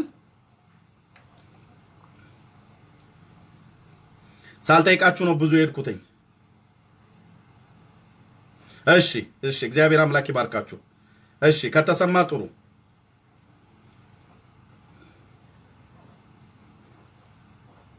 እሺ ከተሰማ ጥሩ። እግዚአብሔር አምላክ ይባርካችሁ። እንደዚህ ይላል ትንቢተ ኢሳይያስ ምዕራፍ 56 ከቁጥር አንድ ጀምሮ እግዚአብሔር እንዲህ ይላል ነው ብሎ የሚጀምረው ነቢዩ። እግዚአብሔር ምን ይላል? እግዚአብሔር ምን ይላል? እግዚአብሔር እንዲህ ይላል ነው ያለው። ሰው እንዲህ ይላል አላለም። ኢሳይያስ እንዲህ ይላል አላለም ራሱን። ምክንያቱም ራሱ ነቢዩ ኢሳይያስ እንኳን ቢናገርም የሰማው ድምፅ ከእግዚአብሔር ስለሆነ ነቢያተ እግዚአብሔር የእግዚአብሔር አፍ ናቸው። ማለት ምን ማለት ነው? እግዚአብሔር የሚናገርባቸውን ብቻ ነው የሚናገሩት የነበረው እውነተኞቹ። ስለዚህ እግዚአብሔር እንዲህ ይላል አለን። ምን ይላል? ማዳኔ ሊመጣ ጽድቄም ሊገለጥ ቀርቧል ይላል ቀርቧልና ፍርድንም ጠብቁ ጽድቅንም አድርጉ አለ። ይህንንም የሚያደርግ ሰው ይህንንም የሚያደርግ ሰው ይህንንም የሚይዝ ሰው ልብ ብላችሁ ስሙ። ይህንን የሚያደርግ ሰው ይህንን የሚያደርግ ሰው ይህንንም የሚይዝ ሰው የቱን ጽድቅን የሚያደርግ ፍርድንም የሚጠብቅ ይህንን የሚያደርግ ሰው ማነው? የሰው ልጅ እንዳያረክሰው ሰንበትንም የሚጠብቅ እጁንም ከክፋት ክፋትን ከማድረግ የሚጠብቅ ብፁዕ ነው ይላል። ብፁዕ ነው ይኸው ብፁዕ ነው ይላል። ብሉይ ኪዳን ላይ እንኳን ብፁዕ ነው እየተባለ ይባላል። የተባረከ ነው ማለት ነው። ብፁዕ ነው። ቁጥር ሶስት ወደ እግዚአብሔር የተጠጋ መጻተኛ በእውነት እግዚአብሔር ከሕዝቡ ይለየኛል አይበል። መጻተኛ የሆነ ጃንደረባም እነሆ እኔ ደረቅ ዛፍ ነኝ አይበል። እግዚአብሔር ሰንበቴን ለሚጠብቁ ደስ የሚያሰኝንም ነገር ለሚመርጡ ቃል ኪዳኔንም ለሚይዙ ጃንደረቦች እንዲህ ይላል፣ በቤቴና በቅጥሬ ውስጥ ከወንዶችና ከሴቶች ልጆች ይልቅ የሚበልጥን የመታሰቢያን ስም እሰጣቸዋለሁ፣ የማይጠፋንም የዘላለምን ስም እሰጣቸዋለሁ። ያገለግሉትም ዘንድ የእግዚአብሔርንም ስም ይወርሱ ዘንድ ባሪያዎቹም ትሆኑ ዘንድ ወዷል። ማን ትሆኑ ዘንድ ወደ እግዚአብሔርም የሚጠጉትን መጻተኞች እንዳያረክሱት ሰንበትንም የሚጠብቁትንም ቃል ኪዳን የሚይዙትን ሁሉ ወደ ተቀደሰው ተራራዬ አመጣቸዋለሁ። በጸሎት ቤቴም ደስ አሰኛቸዋለሁ። ቤቴ ለአሕዛብ ሁሉ የሚሆን የጸሎት ቤት ይባላል እና የሚቃጠለውን መስዋዕትና ሌላ መስዋዕታችሁን በመሰዊያዬ ላይ እቀበላለሁ። ከእስራኤልም የተበተኑትን የሚሰበስብ ጌታ እግዚአብሔር ወደ ተሰበሰቡት ዘንድ ሌሎችንም እሰበስባለሁ ይላል። እናንተ የምድረ በዳ አራዊት ቁጥር ዘጠኝ ላይ እናንተ የምድረ በዳ አራዊት ሁሉ እናንተም የዱር አራዊት ሁሉ ትበሉ ዘንድ ቅረቡ። ጉበኞቹ እውሮች ናቸው፣ ሁሉም ያለ እውቀት ናቸው። ሁሉም ዲዳ የሆኑ ውሾች ናቸው፣ ይጮሁ ዘንድ አይችሉም። ሕልምን ያልማሉ፣ ይተኛሉ፣ ማንቀላፋትን ይወዳሉ። መብል ወዳጆች ከቶ የማይጠግቡ ውሾች ናቸው። እነርሱም ያስተውሉ ዘንድ የማይችሉ እረኞች ናቸው ይላል። እረኞች ናቸው። ስለ ሰዎች ነው የሚናገረው። እረኞች ናቸው፣ ያስተውሉ ዘንድ የማይችሉ እረኞች። እስከ ኋለኛው ድረስ ሁሉ እያንዳንዳቸው ወደ ጥቅማቸው ዞር ብለዋል። ኑ የወይን ጠጅ እንውሰድ፣ በሚያሰክርም መጠጥ እንርካ። ዛሬ እንደሆነው ነገ እንዲሁ ይሆናል፣ ከዛሬ ይልቅ እጅግ ይበልጣል ይላሉ አለ። ስለዚህ ውሾች አይደለም እዚህ ጋር በገሃድ ውሻ የሚለው ቃል በቃል ውሾች አይደሉም። እነሱ ስለ መጠጥ አያወሩም፣ ስለ ሰዎች ነው፣ ስለ እረኞች ነው። በዚያን ዘመን እስራኤልን ይጠብቁ የነበሩ መሪዎች በመንፈሳዊውም ዓለም ላይ በፖለቲካውም አቅጣጫ ያሉት እግዚአብሔርንና የእግዚአብሔርን ሕዝብ በሚገባ የእግዚአብሔርን ቃል በሚገባ ለህዝቡ ህዝቡን ከእግዚአብሔር ጋር በሚገባ አልመሩትም ነበር። ያልመሩ ነቢያት፣ ያልመሩ አገልጋዮች ነበሩ። እውነተኞቹ ሳይሆኑ ሐዋርያቱም ጭምር ማለት ሶሪ ነገስታቱም ጭምር ሁሉ ሳይቀር ማለት ነው። ለምሳሌ በትንቢተ ኢሳይያስ እዚሁ ምዕራፍ 3 ቁጥር 12 ላይ ህዝቤ ሆይ የመሯችሁ ያስቷችኋል፣ የምትሄዱበትን መንገድ ያጠፋሉ ብሎ ነው ያለው። ስለ እረኞች ነው። እረኛ ከጠፋ ህዝብ ይጠፋል። ስለዚህ እነዚህን እረኞች ጉበኞች ነው ብሎ የጠራቸው።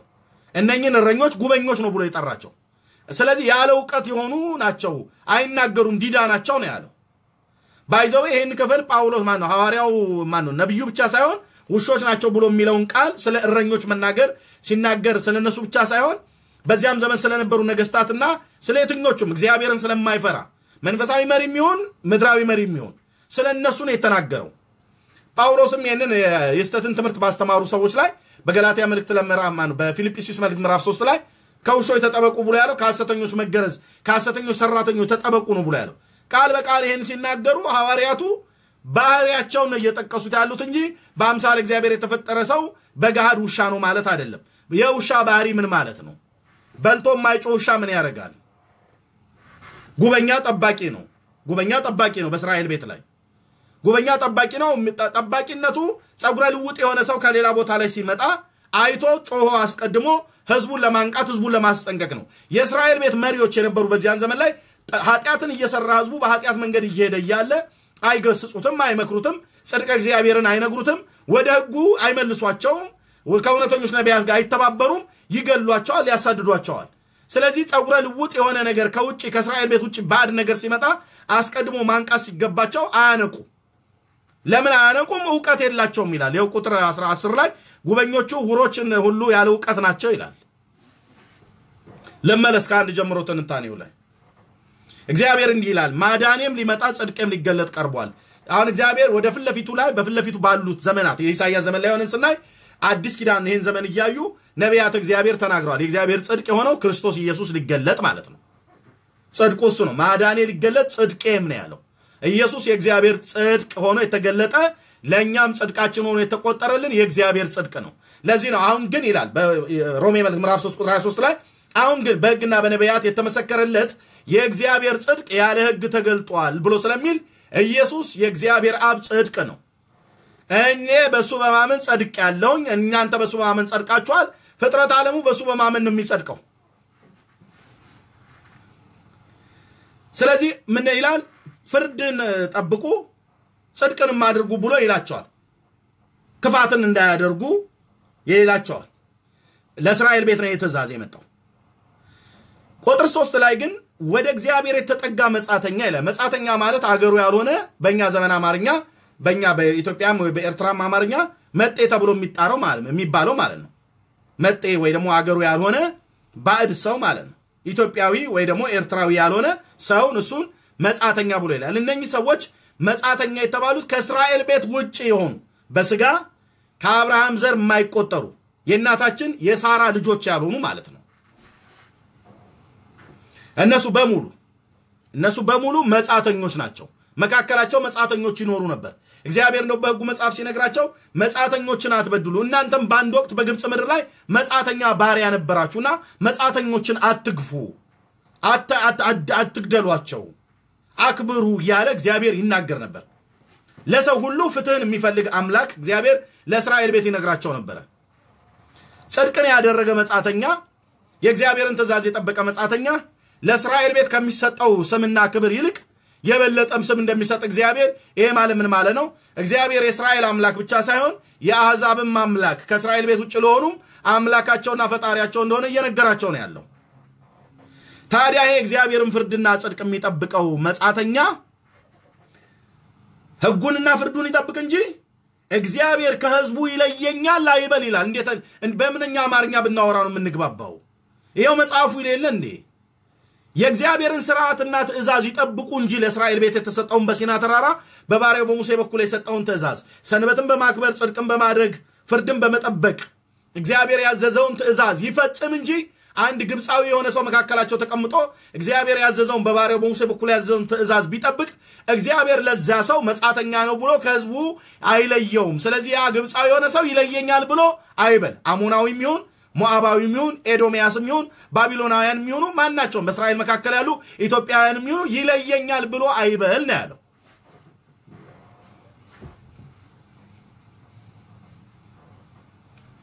የሁላችን አምላክ የአሕዛብም የአይሁድም አምላክ ስለሆነ እግዚአብሔር ይህን ክፍል ታቦትም ለመስራት ተፈቅዶልናል ብለው የሚሉት ጥቅስ ነው። ቅዱሳንንም ለማክበር ብለው የሚሉት ጥቅስ ነው። ቅዱሳንን ለማክበር አዎ መጽሐፍ ቅዱስ ብሎ የሚለውን አሁን ቃል በቃል እንናገረዋለን። ቅዱሳን ግን ስናከብር መጽሐፍ ቅዱሱ ከሚለው ውጭ በሄደ መንገድ ነው እየተደረገ ያለው ነው።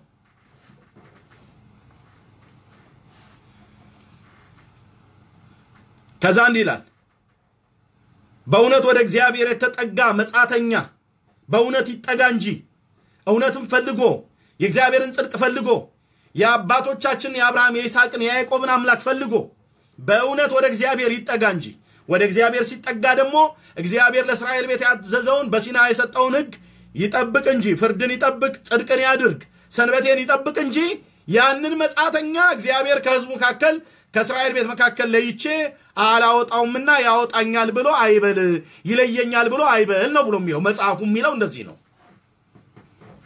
ግልጽ አማርኛ ነው መጽሐፉ ብሎ የሚለው እንደዚህ ነው። እሺ ታዲያ ይሄ እንዲህ ካለ ጃንደረባም እነሆን የደረቅ ዛፍ ነኝ አይበል ይላል። ጃንደረባ ማለት ባለፈው ተናግሬያለሁ።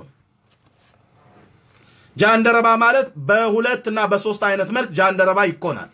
እናገራል የእግዚአብሔር ቃል ፍርጥ አድርጎ ስለሚናገር አንደኛ የቀድሞ ነገስታት በድሮ ዘመን የነበሩ ነገስታት በቤተ መንግስት ውስጥ የሚያስገቧቸው ባሪያዎች የእነሱን ደናግል የሆኑ ሴቶቻቸውና ሚስቶቻቸውን ይጠብቁላቸው ብልቶቻቸውን ይቆርጡላቸው ነበር፣ ይቆርጡባቸው ነበር። በፍቃድ ሳይሆን በውዴታ ሳይሆን በግዴታ ማለት ነው። ብልቶቻቸውን ይቆረጥ ነበር። ግልጽ አማርኛ ነው የማወራው። ባለጌ ምናምን እንደፈለጋችሁ በሉ እናንተ። መጽሐፉ ግን ብሎ የሚለውን ቀጥታ ነው የማወራው። ነውር ያልሆነው ነውር ነው ዘንድሮ፣ ነውር የሆነው ደግሞ ክብር ነው በዚህ ዘመን ላይ ጃንደረባ የሆነ እኔ ደረቅ ዛፍ ነኝ አይበል ይላል። በሁለተኛ ደረጃ ጃንደረባ የሚሆኑት ሰዎች ራሳቸውን ለእግዚአብሔር መንግስት ጃንደረባ አድርገው የሚኖሩ አሉ። ጌታ ኢየሱስ ክርስቶስ እንዳስተማረው። ስለዚህ ይሄ እዚህ ጋር የሚናገረው ጃንደረባ እዚህ ጋር የሚናገሩት ጃንደረባ ደረቅ ዛፍ ነኝ ብሎ ያለው ዛፍ ፍሬ ስላለው ፍሬ በወደቀው ሰዓት ላይ ዛፍ የትኛውም ዛፍ አንዳንዶቹ በችግኝ መልክ ከስር ያወጣሉ። አንዳንዶቹ በፍሬ መልክ ፍሬያቸውን ጥለው እንደገና ሌላ ችግኝ ሌላ ዘር ይበቅላል። እነሱን የሚመስል ማለት ነው። ስለዚህ ዛፍ እንኳን ያፈራል። ዛፍ ፍሬውን ጥሎ መሬት ላይ ፍሬው ከወደቀ ከአፈርና ከውሃ ጋር ሲገናኝ ፍሬ ይሰጣል። ደረቅ ዛፍ ማለት ምንም ፍሬ የማያፈራ በችግኝ መልክ የማይወጣ በፍሬ መልክ ራሱ ረግፎ ቡቃያ የማያበቅል እንደዛ አይነት ዛፍ ፍሬን ራሱን የማይተካ ዛፍ ለራሱ ስም መታሰቢያ የሚሆን ሳይሰጥ ቀርቶ በዚያው ደርቆም እንደሚቀረው ዛፍ የእናንተ ጣፈንታ እንደዚህ አይደለም ነው እያላቸው ያለው። እግዚአብሔርን የምትከተሉ አሕዛብ፣ ከእስራኤል ቤት መጻተኞች የሆናችሁ ከእነሱ ቤት በስጋ ያልተቆጠራችሁ አሕዛብ እናንተ የእናንተ እድል ፈንታ እንደዛ ፍሬ ሳይሰጥ ራሱን ሳይተካ የሆነ ዘመን ያህል ኖሮ በችግኝ መልክ ፍሬውን ጥሎ ፍሬው ውሃና ዛፍ ማን ውሃና አፈር አግኝቶ ራሱን በቡቃያ መልክ የማያወጣ ምንም ራሱን እንደማይተካ ዛፍ አይደለም የእናንተ ጣፈንታ። ስለዚህ እግዚአብሔር እኔ ደረቅ ዛፍ ነኝ አይበል። ወይ ደግሞ ደረቅ ዛፍ ኖሮ ኖሮ የደረቀ ዛፍ ማለት ነው። ቅጠሉ ከላዩ ላይ የረገፈ ቅርፊቱ የተነሳ ስሩ ከስር የበሰበሰ ራሱን መልሶ በትንሣኤ ሊያስነሳ የማይችል የእናንተም እንደዚህ አይደለም። የእናንተ ጣፈንታ በትክክል እኔን ከተጠጋችሁኝ ነው እያለ ያለው። መጻተኛ የሆነው ሰው ወደ እግዚአብሔር የተጠጋ መጻተኛ የሆነ በእውነት በእውነት እግዚአብሔር ከሕዝቡ ይለየኛል ከእስራኤል ቤት ይለየኛል ብሎ አይበል ነው ያለው። አይበል እኔ አለይም ነው እያለ ያለው እግዚአብሔር። ሰንበቴን ጠብቁ እንጂ እዛኛው ኪዳን ላይ ሆኖ ማለት ነው። ሰንበቴን ጠብቁ እንጂ ፍርዴን አድርጉ እንጂ ጽድቅንም አድርጉ እንጂ እኔ አለይም እያለ ነው። በባሪያው በነቢዩ በኩል እየተናገረ ያለው አለይም ንገራቸው እያለ ነው። ጃንደረባውም ደረቅ ዛፍ ነኝ አይበል ማለት አንዴ የወንድ ብልቱ ስለተቆረጠ ማለት ነው። ግልጽ አማርኛ የምናገረው መጽሐፍ ቅዱስ ስለሚናገር እሱ ስለተቆረጠ ልጅ አልወልድም፣ አልተካም፣ ራሴን አላይም፣ ራሴን በራሴ አላይም ብሎ አይበል። ስሜን የሚያስጠራ ነገር የለኝም ብሎ አይበል። በትውልድ መካከል ስሜ ጠፍቶ ሊቀር ነውና ስሜ የሚታሰብበት ነገር ምንም ነገር በየለኝም ብሎ አይበል እያለ ነው። ለእንደነኛ አይነት ሰዎች እግዚአብሔር ለዘላለም የማይጠፋን ስም እሰጣቸዋለሁ ነው ያለው። ምን አይነት ስም? ምን አይነት ስም? ቁጥር ሶስት ቁጥር አራት ላይ ነኝ አሁን ያለት እግዚአብሔር ሰንበቴን ለሚጠብቁ ደስ የሚያሰኘኝንም ነገር ስለሚመርጡ ለብ በሉ። ደስ የሚያሰኝን ነገር ስለሚመርጡ ቃል ኪዳኔንም ለሚይዙ ቃል ኪዳኔን ለሚይዙ በሲና የሰጠሁትን ሕግ ለሚይዙ በዚያ ዘመን ለነበረው ማለት ነው። Old Testament ብሉይ ኪዳን ላይ ለእስራኤል ቤት የሰጠውን ያንን ቃል ኪዳን ለሚይዙ ጃንደረቦች፣ አንደኛ ደስ ሰንበቴን የሚጠብቁ ሰንበቴን የሚጠብቁ እግዚአብሔር ደስ የሚያሰኘውን ነገር ለሚያደርጉ እና ለሚይዙ ጃንደረቦች እንዲህ ይላል ይላል። ምን ይላል እግዚአብሔር? አሁንም ደግሞ አለ ቁጥር አራት እግዚአብሔር ሰንበቴን ለሚጠብቁ ደስ የሚያሰኘኝንም ነገር ለሚመርጡ ቃል ኪዳኔንም ለሚይዙ እስራኤላውያን አይደለም ያሉ ለእስራኤልም ተብሎለታል። ይሄ ጃንደረቦች ነው። ጃንደረቦች። ለእነሱ እግዚአብሔር እንዲህ ይላል ይላል። ምን ይላል? በቤቴና በቅጥሬ ውስጥ ከወንዶችና ከሴቶች ልጆች ይልቅ የሚበልጥን መታሰቢያና ስም እሰጣቸዋለሁ። የማይጠፋንም የዘላለምን ስም እሰጣቸዋለሁ ነው ያለው። ግልጽ ነው የምናገረው አሁን። የእግዚአብሔርም ቃል ግልጽ ነው የሚናገረው። ምን ማለት ነው ይሄ? ይሄ ማለት ምን ማለት ነው የቅዱሳን አባቶች ወይ ደግሞ የነኚህ ጃንደረቦች ስም እንዳይጠፋ በጃንደረቦቹ ስም በስም መጠራት አይደለም። ሰዎች በስማቸው እየተጠሩ አይደለም ስማቸው እንዳይጠፋ ያደረገው። ታዲያ በምንድን ነው እግዚአብሔር በዚያ በብሉይ ኪዳን የነበሩ? መጻተኛ የተባለው አሁን ጃንደረባ የተባሉትን ለብቻ እናያለን። መጻተኛ የተባሉትን እኔ ለምሳሌ አሁን ወደ እግዚአብሔር የተጠጋ መጻተኛ ይላል። መጻተኛ ማለት አገሩ ያልሆነ ሰው ማለት ነው። በዛ በእስራኤል ምድር ላይ ተወልዶ ያላደገ ከሌላ ሀገር የገባ ሰው ማለት ነው። መጻተኛ ከሆነው የማይጠፋን ስም ከተቀበሉት ሁለት ሴቶች መካከል ባለፈው ተናግሬ ያለሁኝ እነሱን ሰዎች እኔ አንደኛ ጋለሞታይቱ ረአብ በኢያሪኮ የነበረችው ሁለተኛ ሞዓባዊቱ ሮት ሩት። እነሱን እህቶች እናያለን። መጻተኞች ናቸው። ይሄ ማለት ምን ማለት ነው? በስጋ ከእስራኤል ቤት ከይስሐቅ ዘር ከእናታችን ከሶራ ከሳራ ያልተወለዱ ማለት ነው። የኪዳን ልጆች ያልነበሩ ማለት ነው። ሞዓባውያን ሶሪ የሞዓባዊ ሴት ናት ሩት። እንደዚሁም ደግሞ የኢያሪኮ ሴት ናት ጋለሞታይቱ ረአብ የማይጠፋን ስም እንዴት ነው የሰጣቸው? መጻተኞች ናቸው። መጻተኞች ሰዎች ናቸው። ወደ እስራኤል አምላክ ወደ እግዚአብሔር ኢያሱ የከነአንን ምድር ሊወርስ እግዚአብሔር ባወጣው ሰዓት ላይ እግዚአብሔር ከግብፃውያን ጀምሮ ባለፉበት ምድር ላይ በሲና ልሳነ ምድር ላይ ከግብፅ ወጥተው ከነአን ምድር እስከሚገቡበት ሰዓት ድረስ በመንገዳቸው ያደረገውን ተአምራት ሰምተዋል። በአማሌቅ ላይ እግዚአብሔር ያደረገውን በአግ ንጉሥ ላይ ያደረገውን በአሞራውያን በኬጣውያን በፌሪዛውያን በኢያቡሳውያን በአሞራውያን ላይ በሁሉም ላይ እግዚአብሔር የበላይነትን እየሰጣቸው በሞዓብና በአሞናውያን በኤዶሚያስ ላይ በምድረ በዳው ይኖሩ በነበሩት ሁሉ በየመንገዳቸው። ልክ በለዓም ሲናገር ያ ባራቅ የተባለው የሞዓብ ንጉሥ እንዳለው ማለት ነው። ይህ ህዝብ አለ። ይህ ህዝብ በሬ ሳርን እንደሚጠርግና እንደሚጨርስ እየጨረሰ እየመጣ ነው። ናና እርገምልኝ ብሎ አለው። የእግዚአብሔር ክብር ማስፈራት ከፊታቸው ነበር። ያ አምላክ ከኔ ጋር ነው ያለው። ያ አምላክ እህቴ ከአንቺ ጋር ነው ያለው። በእውነት ከፈለግሽው በእውነት ከፈለግሽው በእውነት ከፈለግሽው ህይወትሽን ማንነትሽን ከሰጠሽ ህይወትን ማንነትን ከሰጠ የእስራኤል አምላክ ከእኛ ጋር ነው። ስለዚህ ምንድን ያለው? ይሄ መጻተኛ የሆነው በዛ ምድር ላይ በሚያልፉበት ሰዓት ላይ የእግዚአብሔር መለኮታዊ ተአምራት እና የማዳን ክንዱ ግርማውና አስፈሪነቱ በእስራኤል ልጆች ፊት ያልፍ ነበር። ጌታ መንፈስ ቅዱስ ስሙ ለዘላለም ይባረክ። አንድ ቃል አንብብላችሁ እናመጣለሁኝ። እግዚአብሔር መንፈስ ቅዱስ ወደ ልቤ ስላመጣው። በኦሪት ዘዳግም ምዕራፍ ሁለት ቁጥር 24 ላይ የእግዚአብሔርን ቃል አነባለሁ ወደ መንፈሴ እግዚአብሔር ስላመጣው ማለት ነው። እንደዚህ ይላል እንደዚህ ይላል። ደግሞም ይላል አለ ተነስታችሁ ሂዱ የአርኖንንም ሸለቆ ተሻገሩ። እነሆ አሞራውያንና የሐሴቡን ንጉሥ ሲሆንን ምድሩንም በእጅ አሳልፌ ሰጥቻለሁ። እርሷንም በመውረስ ጀምር ከእነሱም ጋር ተዋጋ። ከሰማይ መታች ባሉ በአሕዛብ ሁሉ ላይ ማስፈራትህንና ማስደንገጥና ማስፈራትህን ሰድድ ዘንድ ዛሬ ጀምራለሁ ወሬህም በሰሙ ጊዜ በፊታቸው በፊትህ ይንቀጠቀጣሉ ድንጋጤም ይይዛቸዋል ልክ እግዚአብሔር እንደተናገረው ሙሴ ከሞተ በኋላ ኢያሱ ሲተካ ህዝቡን እየመራ ሲሄድ ኢያሱ በዛ በኢያሪኮ የነበሩ ሰዎች እና ሌሎቹም የአሕዛብ አገሮች ምጥን የያዛቸው ድንጋጤ በአሕዛብ አገራት ላይ ወደቀ። የእግዚአብሔር ግርማ ከእስራኤል ፊትና ጀርባ ነበረ። ነበረ ያህዌ መካከላቸው ነበረ። እግዚአብሔር በሲና ህግ የሰጣቸው ባህሩን ከፍሎ ያሻገራቸው ከፈርዖን እጅ የተቤዣቸው የአባቶቻችን የአብርሃም የይስሐቅ የያዕቆብ አምላክ ህዝቡን በድል እየመራ ከፊት ከኋላቸው ነበረ። ክብሩና ፈሩ ደነገጡ ይላል። ከፈሩት አንዱ ረአብ የተባለችዋ ሴት ናት። ዝናውን ሰምታ የእግዚአብሔርን ከግብፅ አነሳሳችሁን ሰምተናል። ነፍስ አልቀረልንም ፈርተናል አለች። ሁለቱን ሰላዮች በተላኩ ሳለ እነኛን ሁለቱን ሰላዮች ደበቀች።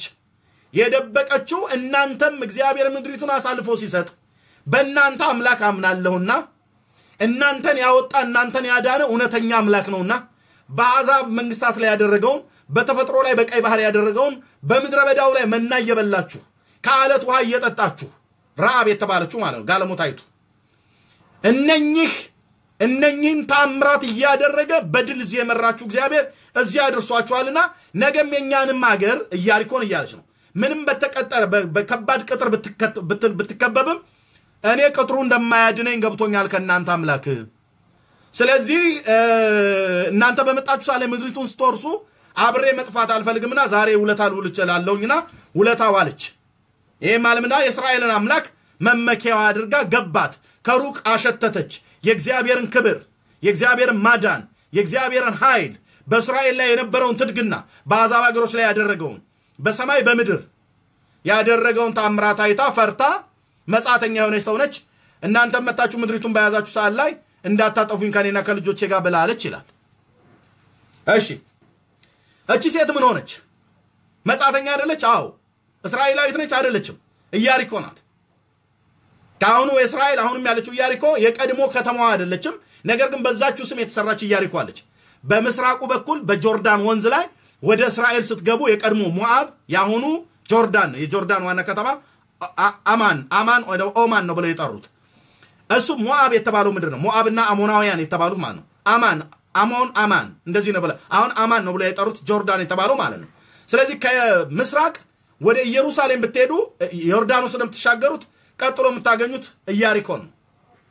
እዛ ምድር ላይ ትኖር የነበረች ሴት ናት። መጻተኛ የነበረች ሴት ነች። ታዲያ ምን አደረገች? እነኛን ሰላዮችን ስለደበቀች፣ እነኛ ሰላዮችን ስለሸሸገች፣ እነኛም ሰላዮች ቃል ስለገቡላት ሰላዮቹ ወደ ኢያሱ ተመለሱና ነገሩት በኢያሪኮ የነበረውን ነገር። በኋላ ላይ ሲሄዱ ሴትዮዋን ቀይ ፈትል እሰሪ፣ እኛ እግዚአብሔር ምድሩን አሳልፎ ይሰጠናል። ልክ ነው። ሴትዮዋ የእምነት ሴት ናት። በሲና ምድረ በዳ ላይ ቁጭ አድርጎ እግዚአብሔር በኦሪት ዘዳግም ምዕራፍ ዘጠኝ ላይ እግዚአብሔር ቃል እንደዚህ ይላል፣ ኢየሱስ ለዘላለም ጌታ ነው። እንደዚህ ይላል፣ እስራኤሎ ይላል ከአንተ የበለጡትና የበረቱትን ከተሞች ትወርሱ ዘንድ ዛሬ ዮርዳኖስን ትሻገሩታላችሁ። ስለ እነሱ ሲባል የሰማውን የኤናቅን ልጆች አትፍራ።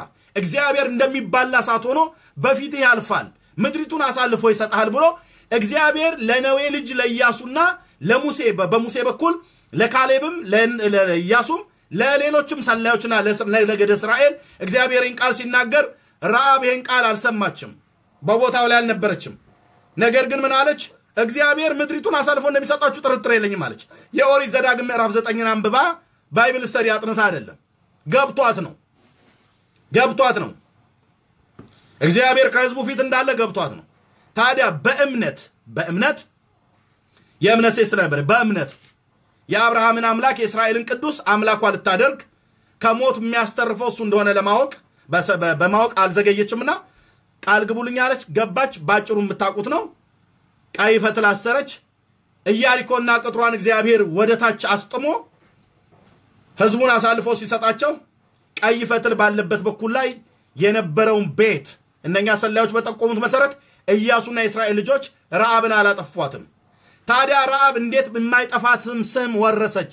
መጻተኛ አይደለች? አዎ ቤት በትንቢተ ኢሳይያስ ምዕራፍ 56 መሰረት እቺ መጻተኛ የሆነች ሴት እንዴት እግዚአብሔር የማይጠፋን ስም ሰጣት? የማይጠፋን ስም የሰጣት ብሉይ ኪዳንንም ስናነብ የእሷን ታሪክ እናገኛለን። አዲስ ኪዳንንም ስናነብ ከእምነት አባቶች ተርታ ተቆጥራለች፣ ተጽፋለች። ይሄ ነው የማይጠፋ ስም ማለት እንጂ ማነው በረአብ ስም ልጆቻችሁን ሰይሙ አይደለም ያለ ወይ ደግሞ በረአብ ስም ቤተ መቅደስ ስሩላት ብሎ እግዚአብሔር አላለም። ብሉይ ኪዳን አላለም። እንኳን በእሱ ስም በዳዊትም ስም አልተሰራም።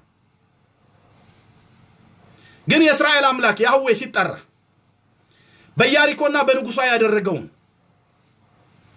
ኢያሪኮን ከተማ ስናስታውስ ኢያሪኮ ከተማን ስናስብ እግዚአብሔር በኢያሪኮ ላይ በእስራኤል በህዝቡ በኩል ላይ ሆኖ ያደረገውን ተአምራት ስናስብ ትዝ የምትለን ሴት ረአብ ነች።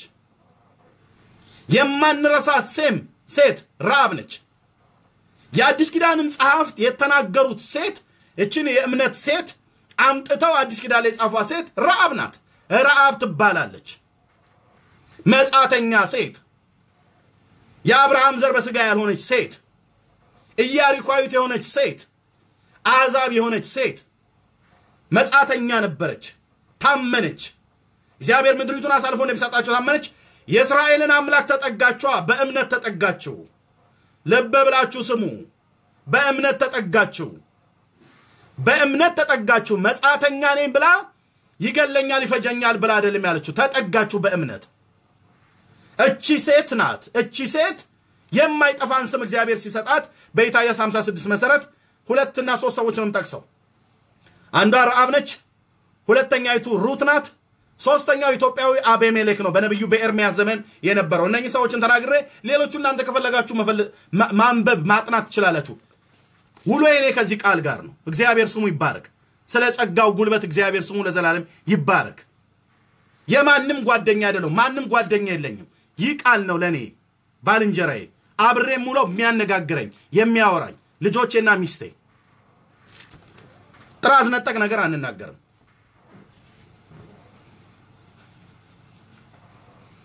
እና የማይጠፋን ስም እንዴት ሰጣት ለረአብ?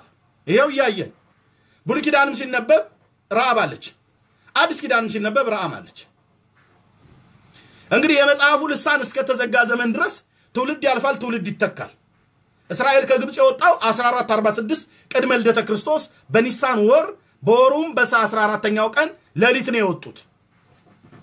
ወደ ከነአን ምድር የደረሱበትን የእግዚአብሔር ቃል ከወጡበት ከተ- ከተወሰኑ ዓመታት በኋላ ከአርባ ዓመት በኋላ ነው ወደ ከነአን ምድር የደረሱት እና ምድሪቱን የወረሱት። ስለዚህ ያንን አርባ ዓመት ከግብፅ ከወጡ ከአርባ ዓመት በኋላ ወደ ከነአን ገብተው ከዛ አርባ ዓመት ጀምሮ ረአብ መጽሐፍ ቅዱስ ብሉይ ኪዳን ከተጻፈበት ኢያሱ ያንን ጽፎ ካስቀመጠበት ጊዜ ጀምሮ ስሟ አለ። ማንም እስራኤላዊ አይረሳትም ይላችኋል። የማይጠፋ ስም ማለት ይሄ ነው። በስሟ ህንፃ ስለሰሩ ነው አይደለም። መጽሐፉ በተነበበና እግዚአብሔር ለእስራኤል የሰጠውን ድል በተነሳ ሰዓት በኢያሪኮ ረአብ ትነሳለች። ለምንድን የተነሳችሁ? በእምነት የእስራኤልን አምላክ አምላኳ ልታደርግ በእምነት የእስራኤልን አምላክ መጠጊያዋ ለማድረግ አምና የተጠጋች የእምነት እናት ናት። ጋለሞታይቱ ረአብ ያዕቆብ ጠቅሷታል በመልእክት ላይ አዲስ ኪዳን ላይ መጥቶ?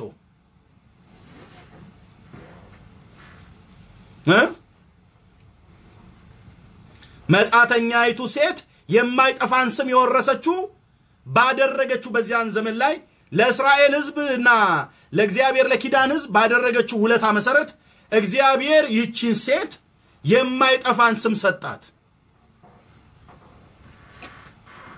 ይሄ ነው።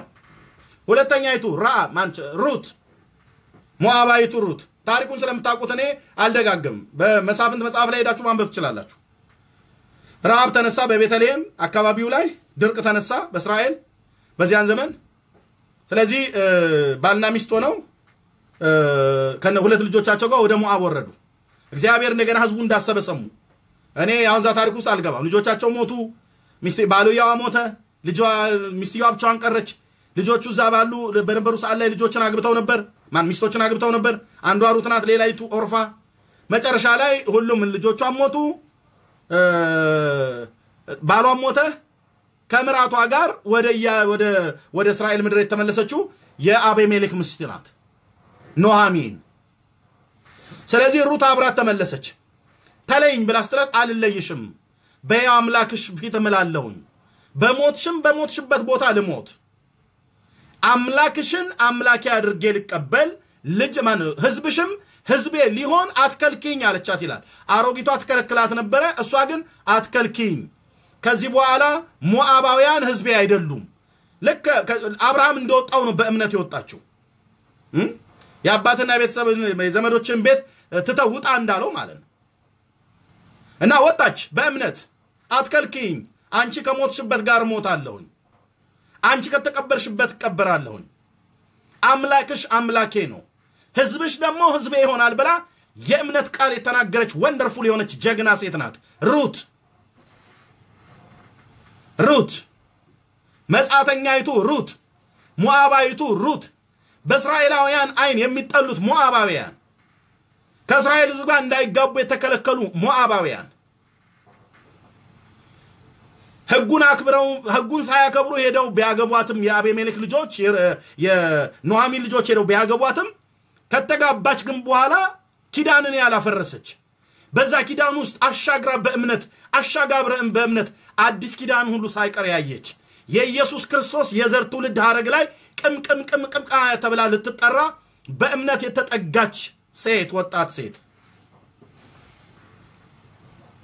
የወንድ ምኞትና የወንድ ስሜት እፈልጋለሁኝ። ከአሮጊቷ ምንም ተስፋ የሚደረግ ነገር አልነበረም። ልጅ አልነበረም። እሷን አግብቶ እንደገና ሚስት ሊያደርጋት የሚችል አሮጊቷን ባሏ ሞቷል። ለመውለድ ተስፋ የላትም። ተቆርጧል። እና ግን ተይኝ አለቻት። በቃ ተይኝ። በእቺ ሴት የአዲስ ኪዳን ሴት ብዬ ብጠራት አላፍርባትም። ሩት ተይኝ። እኔ ስለ ባልና ስለ ሚስት አይደለም። ከባልና ከሚስት ባለፈ አሻግሬ የተመለከትኩት እምነት አለ። ከዚህ በኋላ የሞዓብን አምላክ ካሞሽን አምላኬ ብዬ ላልጠራው፣ ሞዓባውያንን አምላኬ ብዬ ሞዓባውያንን ህዝቤ ብዬ ላልጠራ፣ ህዝቤ እስራኤል ሊሆን ህዝቤ የያህዌ ዘር የቃል ኪዳን ልጆች የነቢያት ልጆች የሳራ ልጆች እነሱ ህዝቤ ሊሆኑ አንድ አምላካቸው አምላኬ ሊሆን ሁለት አትነዝንዥኝ ተይኝ ብላ የተከተለች መጻተኛ ሴት ናት። መጻተኛይቱ ሩት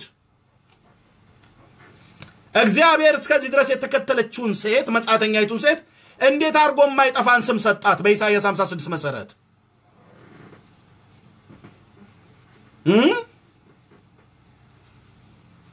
መልሱ። ይህንንም የቃሉ ትክክለኛ ትርጓሜ ይህ ነው። እኔ ስለተናገርኩ አይደለም። እግዚአብሔር ለመጻተኞች እንዴት አድርጎ ነው የማይጠፋን ስም የሰጣቸው? ሩትን ብሉይ በተጻፈ ሰዓት ላይ ተጽፋለች። ዕብራውያኖቹ ባሰቡ ሰዓት ድላቸውን ኢያሪኮ ላይ የተገኘውን ባሰቡ ሰዓት ሩት ትነሳለች። ማን የተረፋለ ከኢያሪኮ? ሩት ብቻ ከነ ልጆቿ። አዎ። በምን ምክንያት? በእምነት ምክንያት። ቀጥሎስ ማንን ያመነችው? የሞዓብን ማን የኢያሪኮን ጣዖት አምና ነው? አይደለም። ኢያሪኮ ማለት የስሟ ትርጉም የጨረቃ አምላክ ተብሎ የሚጠራ ዛሬ አሕዛቦች የሚጠቀሙበትን ምልክት የነበረ ቦታ ነው። ኢያሪኮ ማለት የምድር ጣዖታት ቦታ የነበረ ነው። ታዲያ ረአብ ያንን የኢያሪኮን ጣዖታት አምና ሳይሆን የእስራኤልን አምላክ የሐዌን አምና የተጠጋች እናት ናት።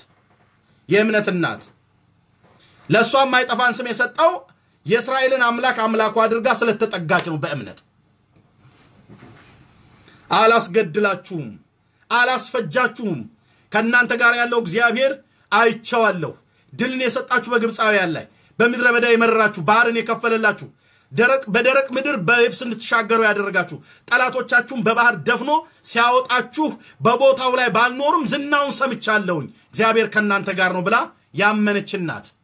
መጽሐፍ ቅዱስ ሲናገር እስራኤላውያን ተከትለው ሊወስዷቸው በመጡ ሰዓት ላይ በኦሪት ዘጸአት ምዕራፍ 14 ቁጥር 24 ላይ እግዚአብሔር ቃል እንደዚህ ይላል። እግዚአብሔር ንጋትም በሆነ ሰዓት ይላል የግብፃውያንን ሰራዊት በደመናና በእሳት አምድ ሆኖ ተመለከተ፣ የሰረገሎቻቸውን መሽከርከሪያ አሰረ፣ ወደ ጭንቅም አገባቸው የሚል ቃል አለ።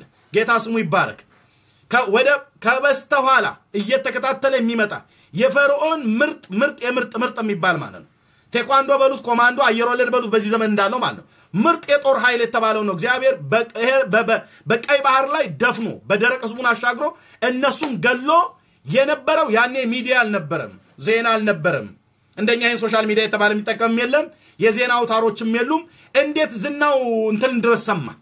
በግብፅ ያደረገው ተአምር እንዴት ከነአን ምድር ድረስ ተሰማ? ተሰማ። እግዚአብሔር ሲናገር ይሰማል። የዜና አውታር ተናገረ አልተናገረም። ሰማይ ምድርም ይተባበራል። አቤት ሰማይ ምድርም ይተባበራል እኮ ነው ብለን የምንለው። ጌታ ለዘላለም ስሙ ይባረክ። ያዛል፣ እሱ ነፋሳትን ያዛል፣ ባህርን ያዛል፣ ፍጥረትን ያዛል። ቁም ሲል ይቆማል። በአንድ ሰው ወሬ ድምፁ እስከ ምድር ዳርቻ ድረስ ይሰማል። ለዘላለም ስሙ የተባረከ ይሁን። ስለዚህ ሰሙ፣ ሰማች። እሷም የለም በዘመንኛው አማርኛ እኔ ከእናንተ ጋር አልቃለድም፣ አምላካችሁ እግዚአብሔር አስፈሪ ነው፣ በግብፅ ያደረገውን አይተናል ብላ በእምነት የተጠጋችዋ ሩት ማለች ረአብ ልክ እንደዚሁ ሁሉ ደግሞ በእምነት የተጠጋችዋ ደግሞ ሩት ከሞአብ ማለት ነው። አምላክሽ አምላኬ ይሆናል፣ ህዝብሽ ህዝቤ ይሆናል። አቃለሁኝ ከእናንተ ወገን እንዳልሆንኩኝ በስጋ መወለድ ሞአባዊ ሰው ነኝ። ልጆችሽ ከልጆችሽ አንዱ ነው ያገባኝ፣ ኬሌዮን ወይ ደግሞ ያኛው መሃሎን የሚባለው ከሁለቱ አንዱ እሱን እነሱ ናቸው ያገቡኝ። ታሪኬ ገና በልጅነት ልጅ ሳልወልድ የልጅነት ባሌን ባጣውም እና አንቺም ባልሽ ቢጣ ቢሞት ልጆችሽም ቢያልቁ እኔ የታየኝ ነገር አንድ ነገር አለ ብሎ የሚል ትርጓሜ ያለው ውስጧ ባይጻፍም አሻግራ የተመለከተች እናት ናት ሩት። ህዝብሽ ህዝቤ ይሆናል፣ አምላክሽ አምላኬ ይሆናል ብላ በእውነት ነው የተጠጋቻት። እሷን ስትጠጋ አሮጊቷን በጣም እግዚአብሔር ይባርካት። በዚህ ዘመን ላይ ካሉት ከአንዳንድ መምህራን ወይ ሰባኪያን ወይ ፓስተር ነን ብሎ ከሚል ከማንም ከማንም ሰባኪ ነኝ ብሎ ከሚል ይልቅ በመኖርም በንግግርም የእስራኤልን አምላክ እግዚአብሔርን የመሰከረችላት ናት። እቺ ሴት ዝም ብላ የእስራኤልን አምላክ በአንድ ቀን ጀንበር ተነስታ እከተላለሁ ብላ አላለችም። ወይ ምራቷ ነግራታለች፣ ወይ ደግሞ ማነው አማቷ የሴትዮ ያረጊቷ ባል ማለት ነው እሱ ነግሯታል። ወይ ደግሞ ልጃቸው ራሱ ከነሱ የተወለደው አይሁዳዊ ስለሆነ ነግሯታል ባሏ ማለት ነው። ስለ እስራኤል አምላክ በደንብ አድርጎ አሻግራን ያየችው። እና ተይኝ አምላክሽ አምላክ ይሆናል ህዝብሽ ህዝቤ ይሆናል ብሎ አለች። እንዲህ አይነቱን መጻተኛ ወደ እግዚአብሔር አምላክ ወደ እስራኤል አምላክ የተጠጋውን መጻተኛ አገሩ ያልሆነ መጤ የሆነን ሰው እግዚአብሔር እንዴት የማይጠፋን ስም ከእስራኤል ልጆች ስም በላይ ይልቅ የማይጠፋን ስም እንዴት ሰጠው ብሎ ቢል ሩት። ብሉይ ኪዳን ሲጠራ ሩት ሞዓባዊቱ ሩት ኢየሱስ ክርስቶስን ለማግኘት የዘር ግንዱን ስታጠራ ሩትን ታገኛታለህ። ማቴዎስ ወንጌል ምዕራፍ አንድ ላይ ተጠቅሳ ከእምነት አባቶች ጋር ተጠቅሳ የማይጠፋ ስም ይላችኋል። ይሄ ነው ለሩት የማይጠፋን ስም እግዚአብሔር ሲሰጥ በስሟ እንግዲህ የሆነ ነገር ህንፃ እንጹላት ብሎ አይደለም።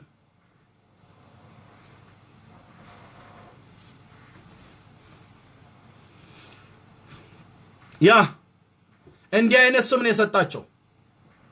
የማይጠፋ ስም እንዲህ አይነት ስም ነው የሰጣቸው። በሁለቱም ኪዳናት ውስጥ በብሉይ ኪዳንም በአዲስ ኪዳንም በሁለቱም ኪዳናት ውስጥ ስለ ሩት ስለ ራብ የማይናገር ሰባኪ የለም። የማይናገር ሰባኪ የለም።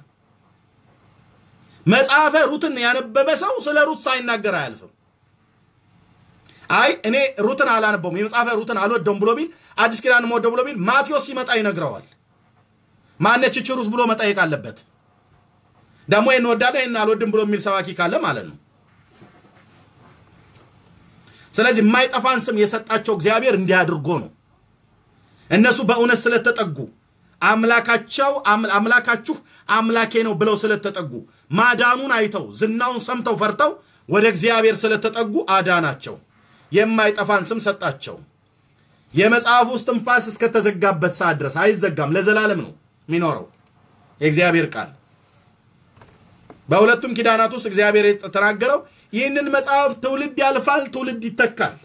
አሁን በዚህ በእኛ ባለንም ዘመን ያለን ትውልድ እናልፋለን።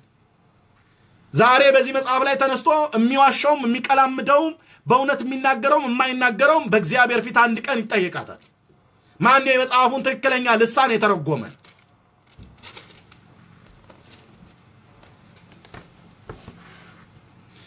እንዲህ አድርጌ በቤቴና በቅጥሬ ውስጥ ከወንዶችና ከሴቶች ልጆች ወንዶችና ሴቶች ልጆች የተባሉት የእስራኤል ልጆች ናቸው። በኪዳን ስለሆነ የኪዳን ልጆች ስለሆኑ የሳራ ልጆች ስለሆኑ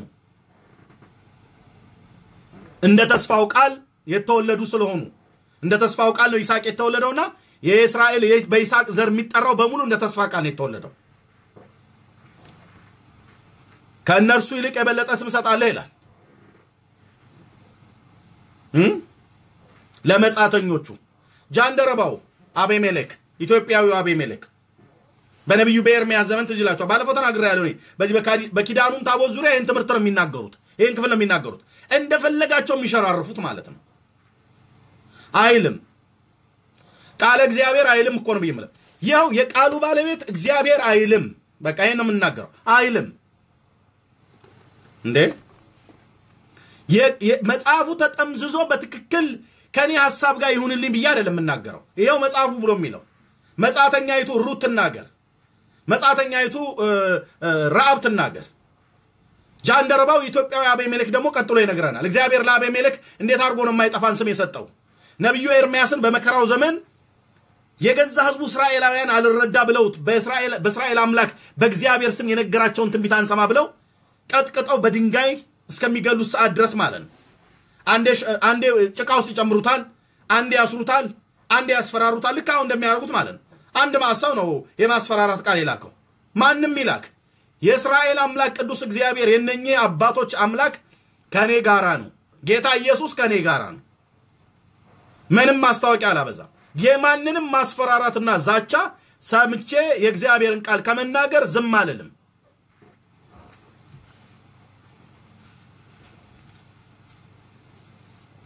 ዘለፋ ምናምን ነገር ስም ማጥፋት እናንተ ናችሁ ያላችሁት አይደለም። እኔ ቅዱሳን መላእክት ያልተባለላቸውም ተብሏል ብዬ የምሟገት ሰው ነኝ። ቅዱሳን ሐዋርያት፣ ቅዱሳን ነቢያት፣ እናቶች እግዚአብሔር ያከበራቸው እነሱም በዘመናቸው ያከበሩት ቅዱሳን እናቶችና አባቶች በስማቸው የተሰራ የተጻፈ ወንጀል አለ ነው እያልኩ ያለሁት። ምን አጠፋው ታዲያ?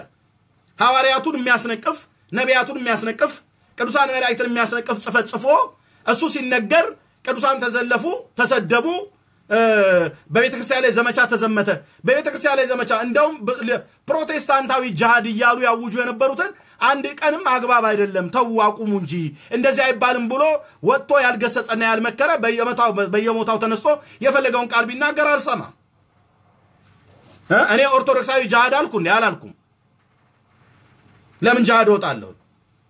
እንዳሉት መምህሩ ማለት ነው ሁላችን እኔ ብቻ ሳይሆን ሁላችን ከዛች ቤተክርስቲያን የወጣን ሰው ነው። ይሄ ሁሉ የወንጌላውያን አማኝ ማለት ነው።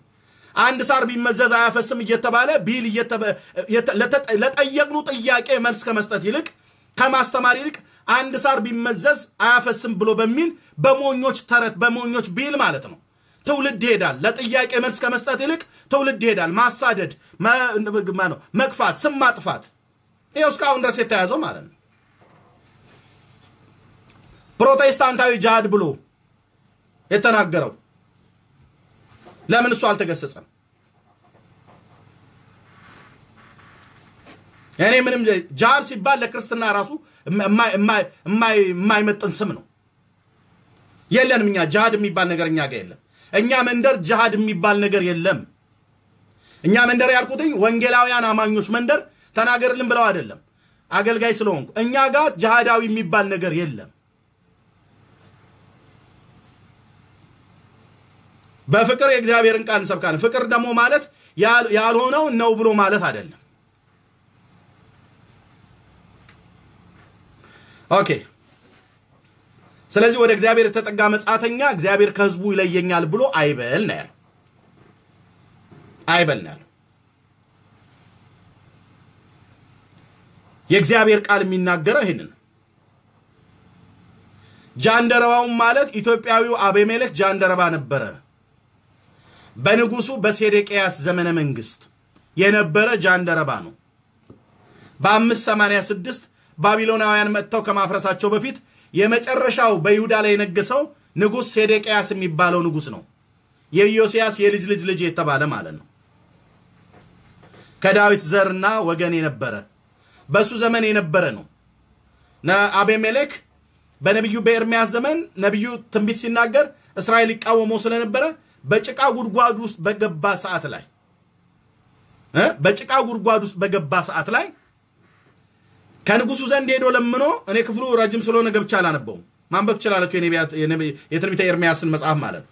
እግዚአብሔር 39ኛው ምዕራፍ ላይ ምዕራፍ 38 ወይ ምዕራፍ 39 ትንቢተ ኤርሚያስ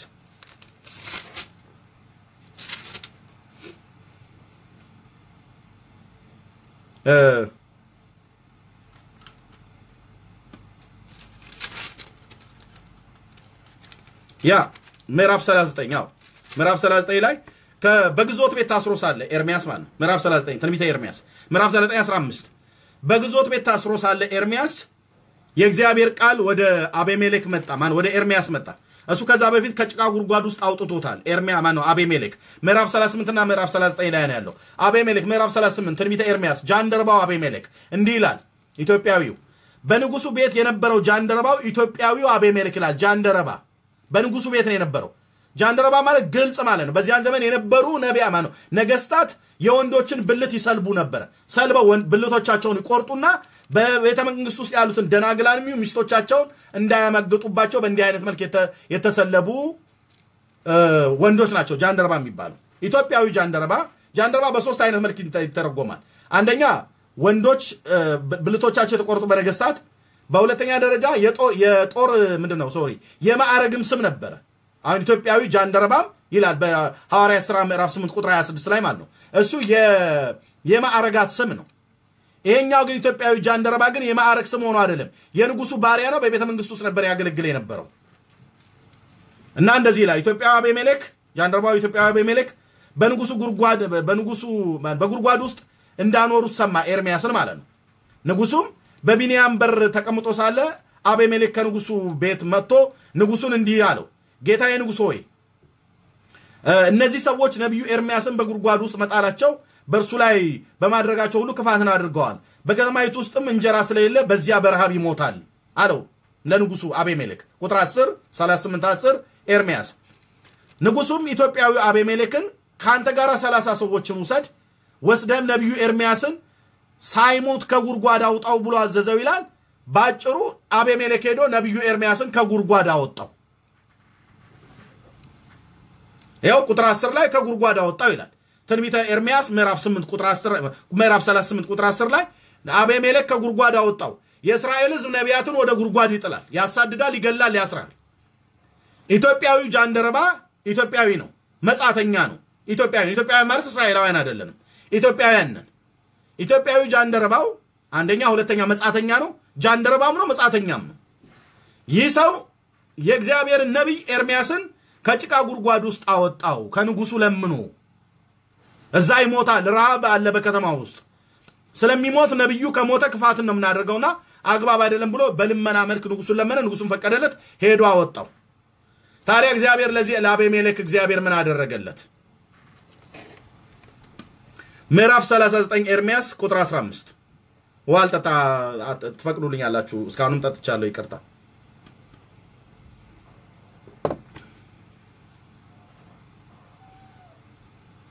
በግዞትም ቤት ይላል አደባባይ ታስሮ እንደገና ደግሞ አስሮታል። ከጭቃ ጉድጓድ ውስጥ አውጥቶት ለምኖት አውጥቶት ነበር። ንጉሱ የእግዚአብሔርን ቃል ከመስማት ይልቅ ወዲያና ወዲህ ዥዋዥዌ የሚጫወት ንጉስ ነበር። ሐሰተኞች ነቢያትን በዛ በኩል ይሰማል፣ እውነተኛውን ደግሞ ኤርሚያስን በዚህ በኩል ይሰማል። አንዴ ለእውነተኛ ይታዛል፣ አንዴ ለሐሰተኞች ይታዛል። ለዚህ ነው አንዴ ወዲያና ወዲህ ቡራቡሬ ነገር ዥዋዥዌ ሲጫወት ንጉሱ እንደዚህ ያለው ነቢዩ ኤርሚያስ ምዕራፍ 38 ቁጥር 21 20 ላይ ኤርሚያስም እንዲህ አለው አሳልፈው አይሰጡህም። እኔ የምነግርህን የእግዚአብሔርን ቃል ብትሰማ እባክህ ስማ። ሶሪ እኔ የምነግርህን የእግዚአብሔርን ቃል እባክህ ስማ፣ ይቀናልሃል፣ ነፍስህም በሕይወትን ትኖራለች ብሎ አለው ይላል። እኔ የምነግርህን የእግዚአብሔርን ቃል ብትሰማ ነፍስህ በሕይወት ትኖራለች፣ ይቀናልሃል።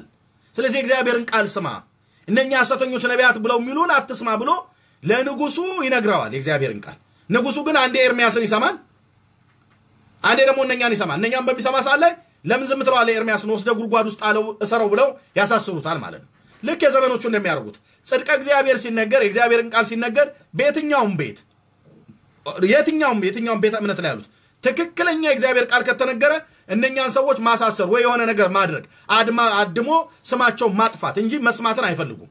ይሄ እስራኤል ያጠፋችውን ጥፋት በዘመኑ ያለች ቤተ ክርስቲያን ደግማ እያጠፋችሁ ነው ያለችው። እግዚአብሔር ወደ እናንተ ጸሐፍት መ ነቢያትን ጥበበኞችና መልእክተኞችን ላኩ ነው ያላቸው ጌታ ኢየሱስ። ወደ እናንተ ጸሐፍቶችና ነቢያትን ጥበበኞችን ላኩ፣ ያልገደላችሁት ማንም የለም። ከጻድቁ ከአቤል ደም ጀምሮ በቤተ መቅደሱ እስከገደላችሁት እስከ በራኪው ልጅ እስከ ዘካርያስ ደም ድረስ ከዚህ ትውልድ የነቢያት ደም ይፈለጋል አላቸው ጌታ። ለምን? ወደ እሱ የላከላትን እስራኤልን ደብድባለች፣ ገላለች፣ አስራለች። ልክ የዘንድሮዋን ቤተ ክርስቲያን እንዲህ የምታደርገው የትኞቹንም በሏቸው ስም ያለን ብለው የሚሉት አብያተ ክርስቲያናት ካቶሊክ በሉ፣ ኦርቶዶክስ፣ ፕሮቴስታንቱ በሉ በሙሉ በክርስትና ስም የተጠሩት እውነተኞቹን መግደል ነው። እውነተኞቹን ማሳደር ነው። እውነተኞቹን ማጥፋት ነው። አይሰሙም። ለምን አይሰሟቸውም? ነቢያተ እግዚአብሔርን እስራኤል ለምን አይሰሙም? እውነተኞቹን አይሰሙም። ከሐዋርያቱ እንኳን ጀምረን ስንመጣ የቆሮንቶስ ቤተ ክርስቲያን ጳውሎስን እኮ አልሰማችሁም። አንተ ነው ያሉት። ማነህ አንተ ሐዋርያ አይደለህም እኮ ነው ያሉት። እዛ ሐዋርያ ነኝ ብሎ ሲል ሐዋርያ አይደለህም ነው እያሉ ያሉት። አሁን ከዚህ የበለጠ ቤተ ክርስቲያን አለ እንዴ? የዘንድሮቹ የትኞቹም ቤተ ክርስቲያኖች ጥሩ ከቆሮንቶስ ቤተ ክርስቲያን አይበልጡ። የቆሮንቶስ ቤተ ክርስቲያን የቀደመች ቤተ ክርስቲያን ነች፣ የክርስቶስ ቤተ ክርስቲያን። በዛ ሐዋርያውን አንተ ሐዋርያ አይደለህም አሉት። አረ ነኝ አላቸው። አይደለህም ነኝ አይደለህም እንደውም የሐዋርያነቴ ማህተምና ምልክት እናንተ ናችሁ አላቸው። ለሌሎች ሐዋርያ ባልሆን ለእናንተ ሐዋርያ ነኝ አላቸው። ባጭሩ የሚያሳየው የእስራኤልን ቤት እግዚአብሔር ቀብቶ የላከላቸውን ነቢያትን ያሳድዱ ነበር። ከአሕዛብም ደግሞ እግዚአብሔር በምሕረቱ በልጁ በክርስቶስ ኢየሱስ ምሕረት በልጁ በክርስቶስ ኢየሱስ ደም አጥቦ ያዳናት የአዲስ ኪዳን ቤተ ክርስቲያን ትቃወማለች። እውነተኞችን እውነተኞቹን ትቃወማለች፣ ሐሰተኞቹን ደግሞ ትቀበላለች። ይኸው እስካሁን ድረስ ቤተ ክርስቲያን ታሪኳ ስለሆነ የአዲስ ኪዳን ዘመን ውስጥ ቤተ ክርስቲያን ስለሆነ ያለችው ይኸው እስካሁን ድረስ ማለት ነው። አሁን ወደ እስራኤል ቤት ሂዱ፣ ኢየሱስን ሲንገሩ ይቃወማሉ። መቃወም ብቻ ሳይሆን ይገሉሃል። እዛም ይገላሉ፣ እዚህም ይገላሉ። እዛም ያሳድዳሉ፣ እዚህም ያሳድዳሉ። እዛ ብዬ የምለው እስራኤልን ነው፣ እዚህ ብዬ የምለው ቤተ ክርስቲያንም ማለት ነው። እና እኔ የምነግርህን የእግዚአብሔርን ቃል ስማ ይከናወን። ታዲያ እግዚአብሔር ለአቤሜሌክ በኢሳይያስ 56 መሰረት መጻተኛ ነው፣ አንደኛ ኢትዮጵያዊ ነው፣ ሁለተኛ ጃንደረባ ነው። ለዚህ ሰው ምን እግዚአብሔር ምን አደረገለት? ምን አደረገለት? እሺ ቁጥር 15 39 15 ኤርሚያስ ብሉይ ኪዳን 6 06 በገጹ ማለት ነው 606 በግዞትም አደባባይ ታስሮ ሳለ የእግዚአብሔር ቃል እንዲህ ሲል ወደ ኤርሚያስ መጣ። ሂድ ለኢትዮጵያዊው ለአቤሜሌክ እንዲህ በለው እንዲህ አለው የእስራኤል አምላክ የሰራዊት ጌታ እግዚአብሔር እንዲህ ይላል፣ እነሆ ለበጎነት ሳይሆን ለክፋት ቃሌንም በዚህ ከተማ ላይ አመጣለሁ፣ በእስራኤል ላይ አመጣለሁ፣ አልሰሙኝምና በዚያን ቀን በፊት ይፈጸማል፣ እያየ ይፈጸማል ይሄ ነገር አለው። ቁጥር 17 በዚያን ቀን አድንሃለሁ፣ አድንሃለሁ፣ አንተን አድንሃለሁ፣ አቤሜሌክን አድንሃለሁ ይላል እግዚአብሔር። በምትፈራቸውም ሰዎች እጅ አሳልፌ አልሰጥህም፣ ፈጽሜ አድንሃለሁ፣ ነፍስህንም እንደ ምርኮ ትሆንልሃለች እንጂ በሰይፍ አትወድቅም፣ በእኔ ታምነሃልና ይላል እግዚአብሔር ይላል። በእኔ ታምነሃልና ማ ኢትዮጵያዊው አቤሜሌክ በማ ታመነ? ኢትዮጵያዊ ነው። ኢትዮጵያዊ ነው ማለት መጻተኛ የሆነ ማለት ነው። እስራኤላዊ አይደለም። መጻተኛ የሆነ ኢትዮጵያዊ ጃንደረባ ነው። መጻተኛውንም ጃንደረባውንም እንዲህ አይበል ነው ብሎ ያለው እግዚአብሔር። ምን አይበል? ከእግዚአብሔር ከህዝቡ ይለየኛል ብሎ አይበል። ለምን? በእውነት ነዋ የታመነው አቤሜሌክ። ግልጽ አይደለም እንደማወራው አማርኛ ግልጽ ነው። በእውነት ነው የታመነው። የእስራኤልን አምላክ ያህዌን ሲፈልገው ኤሎሂምን ሲፈልገው የእውነት ነው የፈለገው ኢትዮጵያዊው። ስለዚህ እግዚአብሔር የማይሰማን የማይጠፋን ስም እሰጥሃለሁ አለው። ለእነኝህ የተሰጣቸው ምን ማለት ነው? ኢትዮጵያዊ አቤሜሌክ ይኸው አሁን ዛሬ ድረስ እናነሳው የለ ኢሳያስ 56ን እየጠቀስን ጃንደረቦቹ የተባለ ይኸው ዛሬ ድረስ እንናገራለን ስለ ኢትዮጵያዊ አቤሜሌክ። ለምንድን የምንናገረው? በእግዚአብሔር በእስራኤል አምላክ በእግዚአብሔር ፈጽሞ ስላመነ በሰይፍ አትወድቅም፣ አድንሃለሁ፣ ከምትፈራቸው ሰዎች እጅ አልሰጥህም። የነዚህ አምላክ እግዚአብሔር የእኛም አምላካችን ነው። በእኔ ታምነሃልና ነው ያለው። መሰመር ያለበት ነገር ቢኖር ኢትዮጵያዊ ጃንደረባው ኢትዮጵያዊው ጃንደረባ ኢትዮጵያዊ መጻተኛ ነው ለእስራኤል ቤት ጃንደረባ ነው። አገሩ አይደለም አቤሜሌክ ኢትዮጵያዊ ነው። አገሩ ኢትዮጵያ ነው። አገሩ ጃንደረባ ሆኖ ሄዶ ነው በንጉሱ ቤት ያለው። ይህ ሰው ለነቢዩ ለኤርሚያስ ውለታ ስለዋለ ከጭቃ ውስጥ ስላወጣው በክፉ ቀን ስለረዳው ወገኖች፣ በዚህ አጋጣሚ የምነግራችሁ ለሰዎች በክፋታቸው ቀን ቁሙላቸው፣ ለነሱ ታደጓቸው፣ ከጨካኞች ጡጫ ታደጓቸው፣ ከክፉዎች ምክር ታደጓቸው። ትክክል አይደለም በሉ በጽድቀ እግዚአብሔር መጽሐፍ ቅዱስ ይናገር አንድ ቃል ጌታ መንፈስ ቅዱስ ስም ይባረክ። አሁንም እግዚአብሔር ወደ መንፈስ ያመጣውን ቃል እንመነግራችሁ እንደዚህ ይላል። በኢሳይያስ በዛው በኢሳይያስ ትንቢት መጽሐፍ 57ኛው ምዕራፍ ላይ እንዲህ የሚል ቃል አለ። እንዲህ ይላል። ይኸውላችሁ በዚሁ አጋጣሚ እግዚአብሔር ወደ መንፈሴ ስላመጣው ልንገራችሁ። ጻድቅ ይሞታል ይላል፣ በልቡ ነገሩን የሚያኖር የለም። ምሕረተኞች ይወገዳሉ፣ ጽድቅ ከክፋት ፊት እንደተወገደ ማንም አያስተውልም ይላል። ማንም አያስተውልም። ምንና ምን ጻድቅ ይሞታል፣ በልቡ ነገሩን የሚያኖር የለም። ለምንድን ነው ጻድቅ የሞተው ብሎ የሚጠይቅ የለም። ለጻድቃን የሚሟገት የለም። ለድሃ አደጉ ለመበለተኞች የሚሟገት አልነበረም በእስራኤል ቤት ያኔም አለ። አሁንም የለም፣ አሁንም የለም። ጥቂቶች ናቸው ድምፃቸውን የሚያሰሙ፣ አይሰማም። የነሱ ድሆች ይበደላሉ፣ ይገፋሉ፣ ይገደላሉ። በውጭ መሰላችሁ ቤተ ክርስቲያን ውስጥ እኮ ነው ብዬ የምለው የትኛው ቤተክርስቲያን ውስጥ ሁሉ ውስጥም ይገደላሉ። መገደል ማለት የግድ ስጋቸውን ደማቸውን አፍስሰው መቅበር ብቻ አይደለም። ስማቸው ላይ ክፉ ዘመቻ እየዘመቱ በቃ እንዳልሆነ አድርገው ያስቀሯቸዋል። ከሁለቱም ቤት ስላደግኩኝ አለኝ የማቀው ጽድቀ እግዚአብሔርን የሚናገሩ ሰዎች፣ እውነትና ለእውነት የቆሙ ሰዎች፣ ትክክል ያልሆነውን ትክክል አይደለም ብለው የሚሉት ሰዎች ከቻሉ በዱላ ደብድበው ይገላሉ፣ ካልቻሉ ስም ያጠፋሉ። ትውልዱም ደግሞ ግራ ቀኝ አያገናዝብም፣ እንዳለ ነው ቀጥታ የሚቀበለው። እንዲህ ይላል በነቢዩ በኢሳያስ ዘመን ጻድቅ ይሞታል አለ። ጻድቃን ይሞታሉ፣ እንደነ ናቡቴን አይነት ይሞታሉ ጻድቃን። የሚሟገትላቸው እግዚአብሔር ፍርዳቸውን የሚሟገት እግዚአብሔር ነቢይን እየላከ አንተ ገለው ወርስረሃል አይደል? እሱም በገደልክበት ቦታ ያንተንም ደም እንደዚሁ የሚያፈሱልህ ደም አፍሳሾችን እልክልሃለሁ ብሎ እግዚአብሔር የተናገረው የኤልያስ አምላክ ከኔ ጋራ ነው። ጻድቃን ይሞታሉ። ምሕረትን የሚያደርጉ ሰዎች ይወገዳሉ። ጽድቅ ቆሞ ክፋትን ማስወገድ ሲገባው ክፋት ይቆምና ጽድቅን ይገሉታል፣ ጽድቅን ያስወጡታል። ስለ ጽድቅ የሚናገር በየትኛውም ቤተ እምነት አይወደድም። ኮንፈረንስ ጠርተው ኮንፈረንስ አድርገው ጉባኤ ጠርተው ትክክለኛውን የእግዚአብሔርን ቃል እግዚአብሔር ከላካቸው ሰዎች አፍ ሰምተው ለመመለስ የሚያቁነጠንጣቸው ሰዎች አሉ፣ ወንበራቸው ላይ ቁጭ ብለው መቼ ነው ሰው የምታስቆሙት? አቋርጡት ብለው እስከሚሉ ድረስ ማለት ነው። ትውልዱ መስማት አይፈልግም ሲጀምር እና ግን ጻድቅ ይሞታል በልቡም ነገሩን የሚያኖር የለም ይላል። ትውልዱም እንደዚህ አይነት ነውና ሰው ሲሞት ለምንድን የሞተው ብሎ የሚያኖር የለም፣ የሚጠይቅ የለም። ምሕረተኞች ይወገዳሉ። ምሕረት የሚያደርጉ ይወገዳሉ። ምሕረት የማያደርጉ ሰዎች ይቆማሉ። ጨካኞች ይቆማሉ። ምሕረትን የሚያደርጉ ርኅሩኆች ይወገዳሉ። ተው እንጂ ነገሩ እንዲህ አይደለም ብለው የሚሉትን ሰዎች ያስወግዷቸዋል።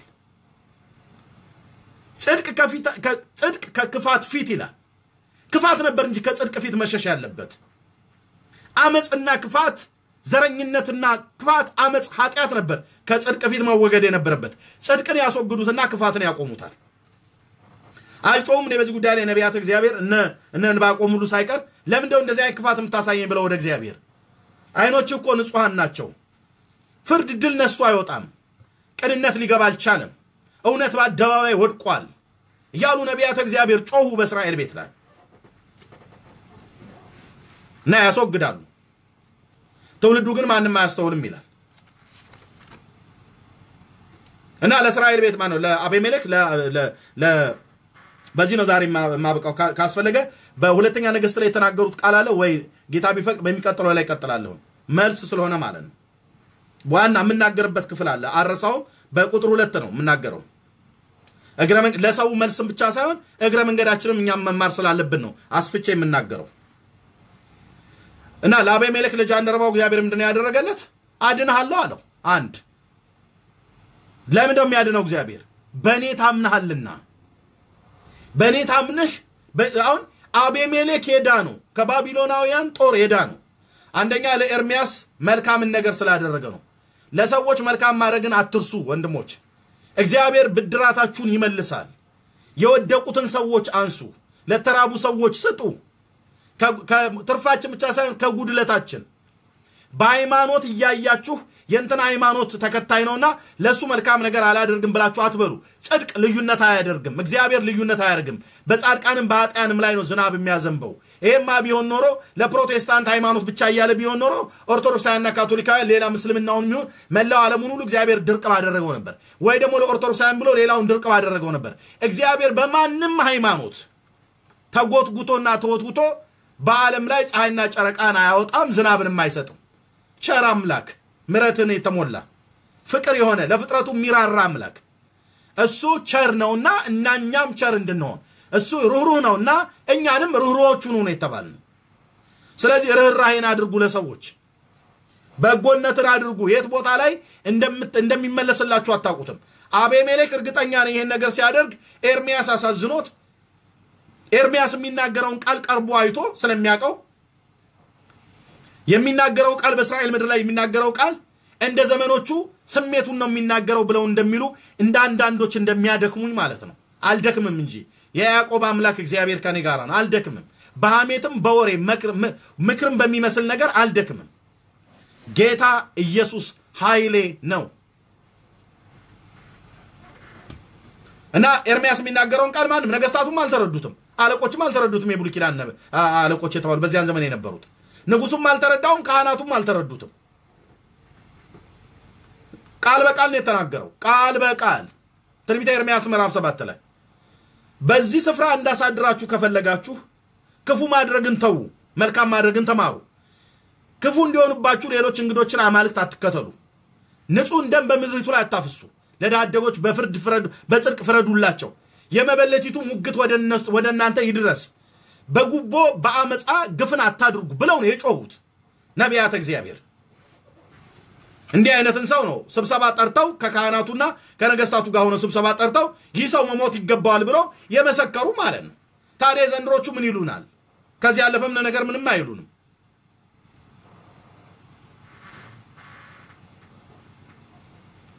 እኔ እውነት አሁን የሃይማኖት መሪዎች የተባሉ እውነት አሁን ለጽድቅ እውነት ለእግዚአብሔር ቃል እውነት እንደው የእውነት የእውነት ለእግዚአብሔር ቃል እግዚአብሔር እንደሚናገረው ነው ወይ የምንናገረው ወይስ ለጥቅማችን ነው? የማንንም የማንንም ምክር የማንንም ማስፈራራት የማንንም ዛቻ አልሰማም እና በእኔ ታምንሃልና አድንሃለሁ አለው ይላል። ስለዚህ አቤሜሌክን ይኸው ዛሬ እንሰብከዋለን።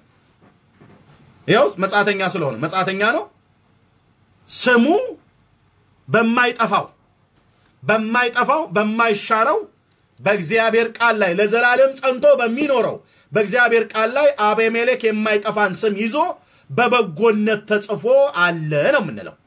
ትክክለኛ ትንቢተ ኢሳይያስ ትርጉም ይሄ ነው። የትንቢተ ኢሳይያስ 56 ትርጉም ይሄ ነው። እግዚአብሔር አምላክ የተባረከ ይሁን። እቀጥላለሁ። እዚህ ጋር ያቆምኩት። ሁለተኛ ነገሥት ምዕራፍ አራት ላይ እግዚአብሔር በመዝሙር 127 ላይ ልጆች የእግዚአብሔር ስጦታ ናቸው፣ የማኅፀን ፍሬ ከሱ ዘንድ ነው ብዬ የተናገርኩት ላይ የለም ልጆች ሌሎች ሰዎችም ልጆች ሊሰጡን ይችላሉ ጻድቃን ነቢያት ብሎ የሚለውን የሁለተኛ ነገሥት መጽሐፍ ምዕራፍ አራትን የነቢዩ የኤልሳን ቃል በነቢዩ በኤልሳ ለዛች ለሱናማይቷ ሴት የተደረገውን ተአምራት እሱን ጠቅሰው ተናግረዋል። እሱን ደግሞ በደንብ በትንታኔ በትክክለኛው ትርጉም በእግዚአብሔር ቃል ትርጉም እናገራል። ልክ ነው። ነቢዩ ጸልዮ ወደ እግዚአብሔር ልጅ ሰጥቷታል። የሰጣት ኤልሳ ሳይሆን እግዚአብሔር ነው።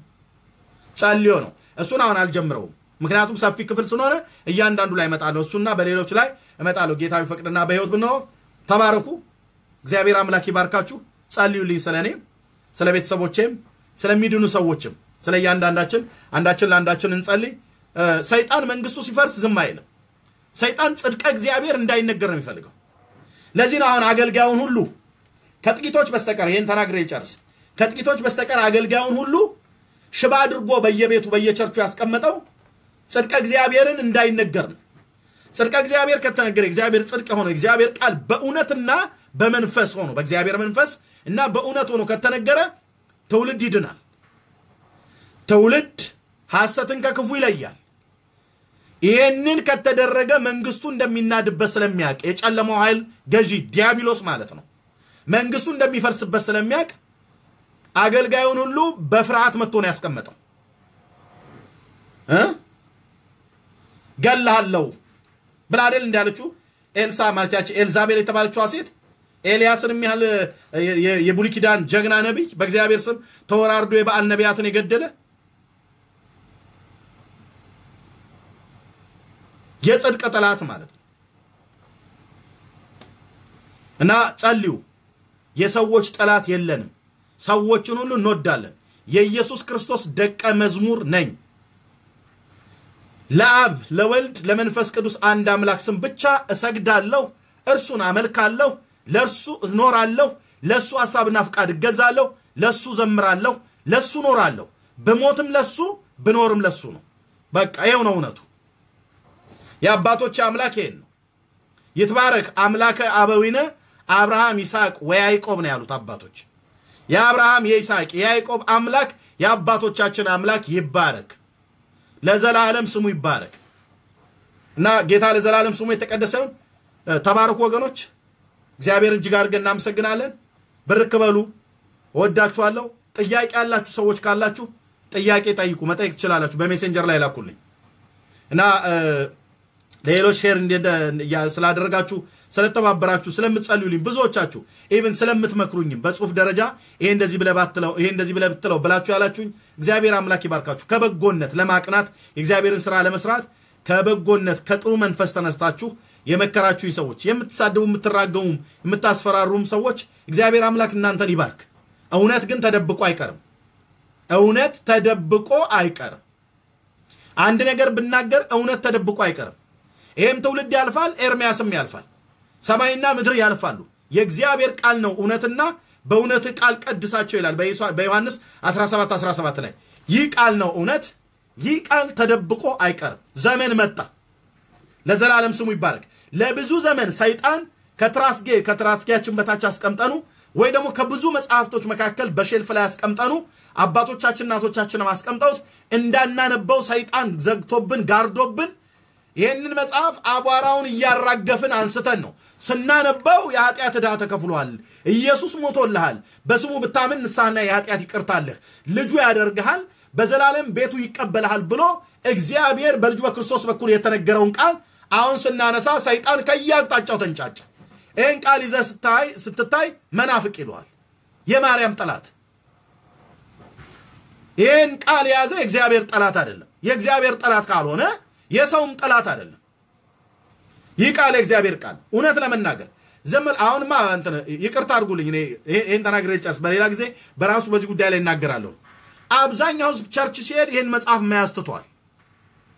አብዛኛው ህዝብ ወንጌላውያን ጋር ድሮ ይይዙ ነበር። አሁን ግን አብዛኛው እስከሚባል ሰዓት ማለት ነው። ይሄ ሞባይል አለ እጆቻችን ላይ። አሁን ሞባይሉ አለ። በሞባይል አንዴ download አድርጌ ብሎ ሞባይል ነው ይዞ የሚሄደው ሰው። ይህም መጽሐፍ በራሱ እውነት ለመናገር በራሱ በራሱ አንደኛ ስለያዝነው አይደለም ምንድንበት ስለያዝነው አንድንም እንደዛ አይገኝም ድነት ገልጠን ስናነበውና ሁለተኛ ስንኖርበት ስንታዘዘው ነው።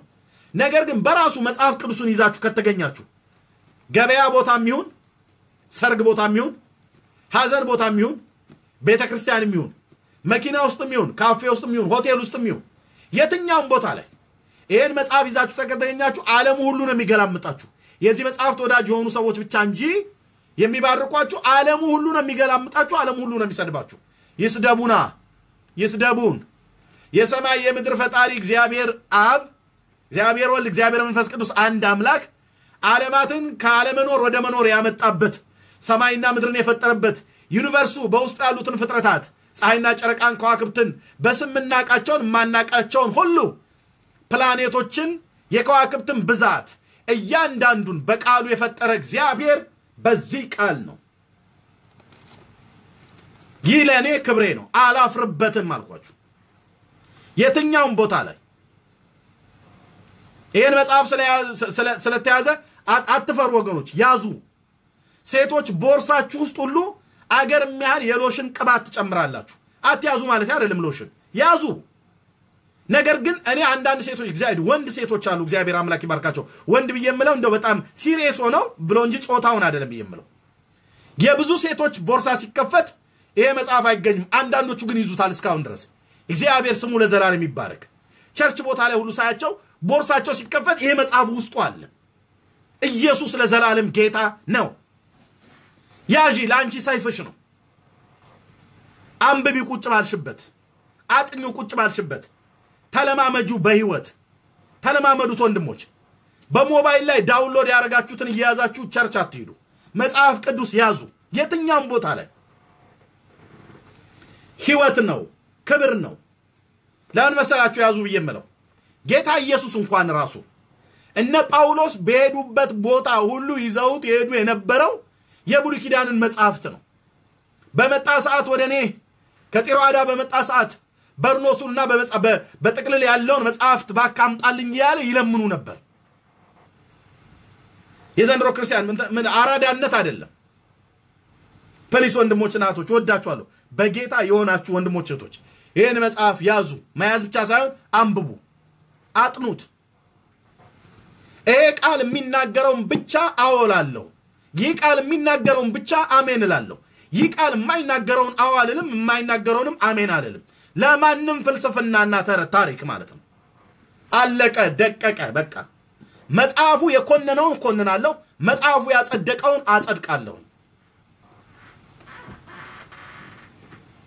ይህ ነው የአምላኬ ቃል አይደለም እንዴ? ይህ ነው የአምላካችን ቃል። ይህ ነው በእውነተኛ ነቢያትና ሐዋርያት የሁላችን ጌታ በሆነው በልጁ በኢየሱስ ክርስቶስ እግዚአብሔር አብ የተናገረን ይህ ቃል ነው። ሴቶች ቦርሳችሁ ውስጥ ያዙ፣ ወንዶች አትፈሩ። ጂንስና ልብስን ለብሰ ስትወጣ ወደ church ስትሄድ መጽሐፉን ያዝ። ይሄንን ዘንድሮ አማረልን እያሉ ሁሉ ማለት በሚዲያ ላይ ሁሉ ሳይቀሩ ያሉት እንትን ታብሌት ምናምን ነገር እኔ ልዩ ነገር ሌላ እንግዳ ነገር ላንብ ካልሆነ በስተቀር ከዚህ ቃል አንብቤ አላቅም። እውነት ለመናገር ከነኚህ ላይ እኔ አላነብም። ማንበቡ ኃጢአት ነው ማለት አይደል፣ አላነብም። ሲጀምርም ራሱን የቻለ ችግር አለው። ምናልባት አንድ እንግዳ ጋብዛለሁ በዚህ ጉዳይ ላይ ማለት ነው። እዚህ ላይ ራሱ download የምናደርጋቸው መጽሐፍ ቅዱሶች አብዛኞቹ ትርጉማቸው የተሳሳቱ ትርጉሞች ሁሉ መጥተዋል። በጣም ብዙ ትርጉም ራሱን የቻለ በዚህ ጉዳይ ላይ የሚናገር ሰው አለ እና እሱን ሰው እግዚአብሔር አምላክ ይረዳናል። ጊዜ ሰጥተን እንጋብዘውና እንሰማለን ከእሱም አገልጋይ ማለት ነው። ነገር ግን የእግዚአብሔርን ቃል ያዙ። ስለዚህ ምንድን ነው ይህን መጽሐፍ ቅዱስ ስንይዝ በመጀመሪያ ሰይጣን የሚደነግጠው ይሄን መጽሐፍ ስትይዝ ነው። አንድ ይሄን መጽሐፍ ካልያዝከው አት- አትገልጠውም፣ ካልገለጥከው አታነበውም። procedure ኡ ልክ እንደዚህ ነው። በመጀመሪያ ከተቀመጠበት ቦታ ስታነሳ በቃ አገር ሁሉ ይናወጣል። ከተቀመጠበት ቦታ አነሳኸው ማለት ልታነበው ከሆነ ማለት ነው። ከተቀመጠበት ቦታ አነሳኸው፣ ከዛ ያዝከው፣ ከያዝከው በኋላ ገለጥከው፣ ከገለጥክ በኋላ ታነበዋለህ፣ ካነበብክ በኋላ ታሰላስለዋለህ፣ ካሰላሰልክ በኋላ ልትታዘዝ ነው። ይህንን procedure ተከትለን ከሄድን የሰይጣን መንግስት እንደሚፈርስ ስለሚያውቅ ብዙ ሰዎች መጽሐፍ ቅዱስ ሲያነቡ ሰይጣን ራሱ ከሚዋጋው አንዱ ማለት ነው ያዛጋቸዋል፣ ያንጠራራቸዋል፣ እንቅልፍ እንቅልፍ ይላል፣ እንዳይገባ ያደርጋል። አይናችንን የሚጋርድ ነገር አለ። በቃ ስልኩ ሁሉ ተደውሎ የማያውቅ ስልኩ ሁሉ ይደወልብሻል። ሌላ ነገር breaking news እኮ መጣ ብሎ ወይ ዜና ነገር ይመጣል። ምንም በቃ የማይ- የማይመጣው የለም አልኳችሁ። በዛ ደቂቃ ይህን እግዚአብሔርን ቃል አነባለው ጊዜ ሰጥቼ ብላችሁ ልክ ስትጀምሩ ከሀገርም ከምድሩ ሁሉ በቃ ከየስ- ከየስርቻው ሁሉ እናንተን ፈልጎ የማያውቅ ሁሉ ለመፈለግ ይመጣል። ያኔ ጥርቅም አድርገሽ ስልኩን ዘግተሽ አደገኛ የሆነ ጥሪ ካልሆነ በስተቀር ማለት ነው። ምናልባት ሰዎች ታመው ወይ አደጋ ላይ ሆነው ድረሱ ተብሎ ሊጠራ ይችል ይሆናል። ከዛ ውጭ ግን የሆነ ከሆነ ጠርቅም አድርገሽ ዘግተሽ ቁጭ ብለሽ መጽሐፍ ቅዱስን ማንበብ ሰይጣን ሆን ብሎ ያንን ወጥመድ ያመጣው። ስለዚህ ለእግዚአብሔር ቃል ጊዜ ስጡ። ጌታ ለዘላለም ስሙ የተባረከ ይሁን። ማንም አገልጋይ የማንም ቤተ እምነት ከዚህ መጽሐፍ ስልጣን ስር ነው። ከዚህ መጽሐፍ ስልጣን ስር የወጣ አገልጋይ ከዚህ መጽሐፍ ስልጣን ስር የወጣ ማንም አገልጋይ ማንም ቤተ እምነት አንሰማውም። ሁላችን ከዚህ የእግዚአብሔር ቃል ስልጣን ስር በታች ነን።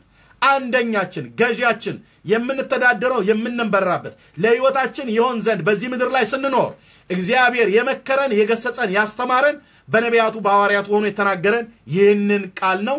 ለዚህ ቃል እውነት እንኖራለን። ለዚህ ቃል እውነት እናገለግላለን። ጌታ ለዘላለም ስሙ የተባረከ መቼም አዳዲስ ሰዎች ሰዎች እንዳላችሁ ተስፋ ላረግም ላላረግም እችላለሁ፣ ምክንያቱም ስለማላቅ አዳዲሶች ሰዎች ካላችሁ እውነተኛው የእግዚአብሔር ቃል ትርጉም ይሄ ነው። ጌታን መቀበል እንፈልጋለን ብላችሁ የምትሉ ሰዎች ካላችሁ ከዚህ በፊት እንደምለው የማንንም ስም ጥሩ አልላችሁም። አዳኙን ስም ጥሩ። አዳኙን ስም ጻፉት። ኢየሱስ ክርስቶስ የእግዚአብሔር አብ ልጅ ከቅድስት ድንግል ማርያም የተወለደውን ኢየሱስ የሚለውን ስም ጻፉ። ወይ Jesus ብሎ የሚለውን ስም ጻፉ፣ ወይ ኢየሱስ የሚለውን ስም ጻፉ። በ Messenger ላይ ወይ ደግሞ በዚህ ላይ ጻፉ። ደውዬ ያገኛችኋለሁ። እግዚአብሔር አምላክ ይባርካችሁ። ጥያቄ ያላችሁ ሰዎች መጠየቅ ትችላላችሁ። በውስጥ መስመር ላይ ብርክ በሉ። እወዳችኋለሁ። በዚህ በጆሲ መዝሙር ነው የምንለያየው።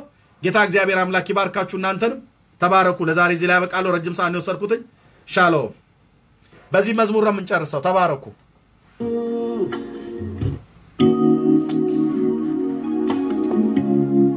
ኢየሱስ የሚለውን ስም ጻፉ ካላችሁ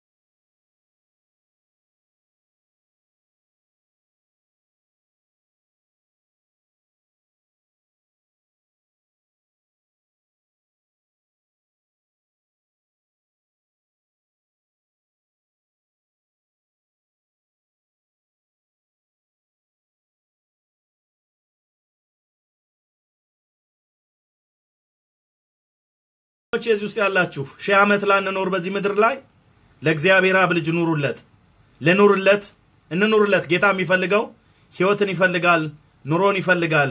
ስንታመንለት ይታመናል። ጌታ ከእኛ ጋር ይቆማል።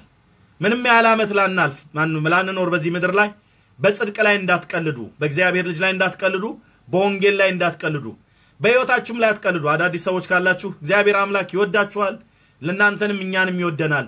መውደዱን ልጁን የዓለም መድኃኒት አድርጎ እስከ መስጠት ድረስ ወዶናል። በእርሱ የሚያምን የዘላለም ሕይወት እንዲኖረው እንጂ እንዳይጠፋ እግዚአብሔር አንድያ ልጁን እስኪሰጥ ድረስ እንዲሁ ዓለሙን ወዷል። ዓለም በልጁ አምኖ እንዲድን እንጂ በዓለም እንዲፈርድ እግዚአብሔር ወደ ዓለም አላከውም ነው ብሎ የሚለው። ስለዚህ መወደዳችንን የምናውቀው እግዚአብሔር ከዓለም ፍጥረት ጀምሮ እግዚአብሔር በልጁ በክርስቶስ ኢየሱስ ሊያተርፈን ተስፋ በገባው መሰረት የዛሬ ሁለት ሺህ ዓመት እንደ ተስፋው ቃል በነቢያት የተነገረለት ጌታ ተወልዶ ሊያድነን መጥቷል። ስለዚህ በስሙ በማመን ብቻ በእግዚአብሔር ልጅ ንስሐና የኃጢአት ይቅርታችሁን ያልተቀበላችሁ ሰዎች ኑ ወደ እግዚአብሔር ልጅ ይወዳችኋል። እነዛ የምሕረት እጆቹ ዛሬም ተዘርግተው እናንተን ይጣራል። ካላችሁ አንድ ሰው አይቻለውን ኢየሱስ ብሎ የሚለውን ስም ጻፉ። ቅዱሳን እግዚአብሔር አምላክ ይባርካችሁ። ተባረኩ።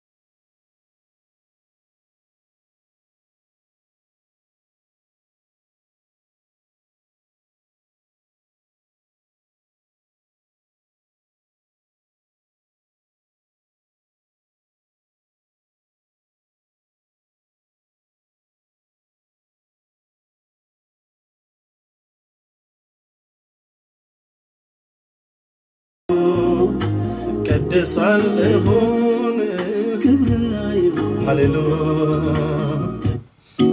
መንፈስ ቅዱስ ስምህ ለዘላለም ይባረክ። አቅም ስጠን፣ አግዘን፣ በጽድቅ እንድንኖር በቅድስና ሕይወት እንድንመላለስ። አንተን በመፍራት እግዚአብሔር በዚህ ዘማዊና ጠማማ ትውልድ መካከል በእውነተኛ ምሳሌ ጌታ ኢየሱስ በቃል እንደተናገርከን በዓለም ብርሃን ሆነን ጨው ሆነን እንድንታይ የተናገርከን እግዚአብሔር ሆይ በልጅ በኢየሱስ ክርስቶስም እንደገና ወደ ተራራው ጫፍ ላይ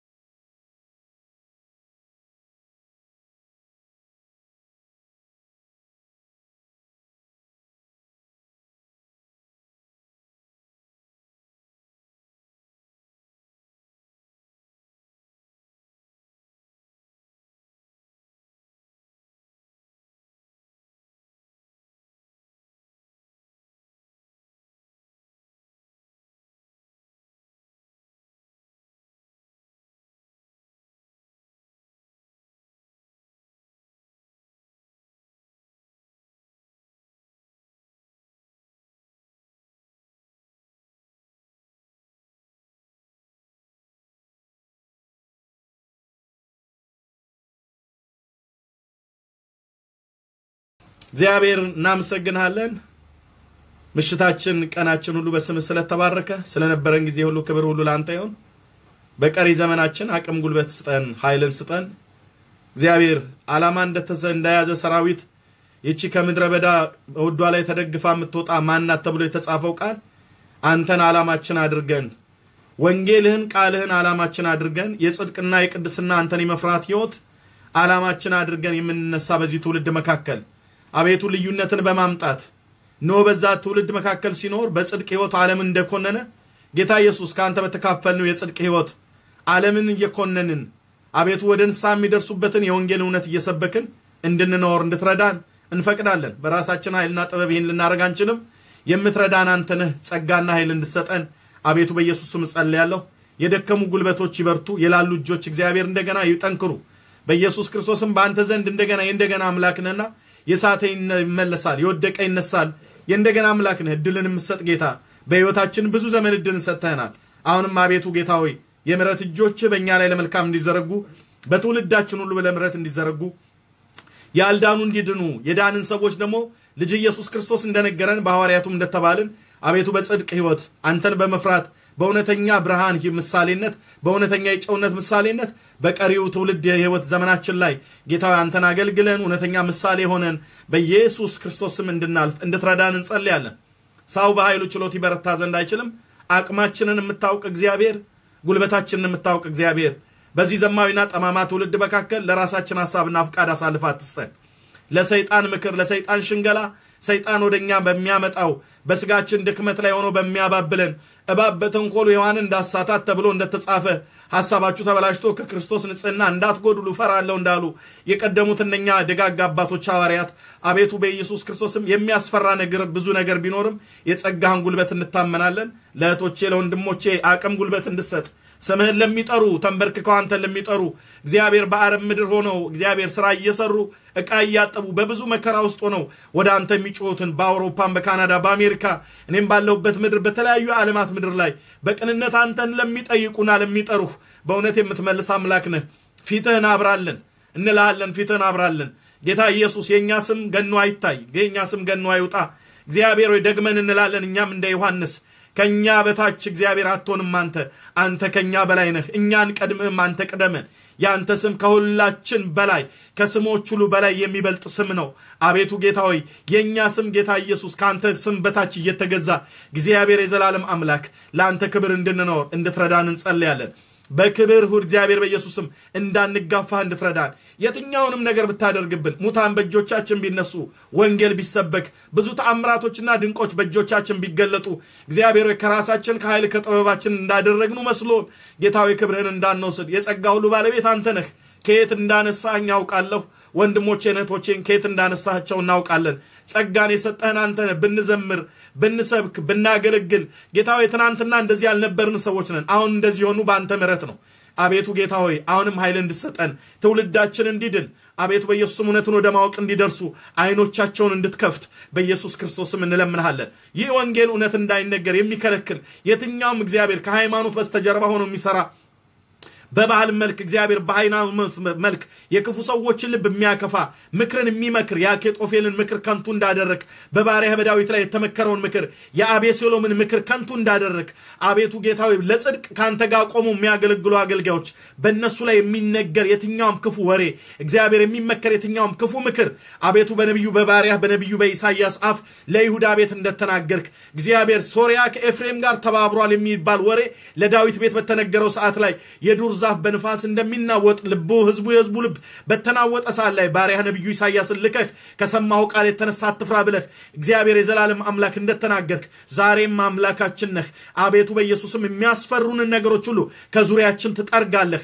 በህይወት ዘመናችን በበሽታ እግዚአብሔር የዘላለም አምላክ በማጣት በተለያየ አይነት የህይወት ውጣ ውረድ ላይ ላሉ አቅም ጉልበትን የምሰጥ አምላክ አንተ ነህ።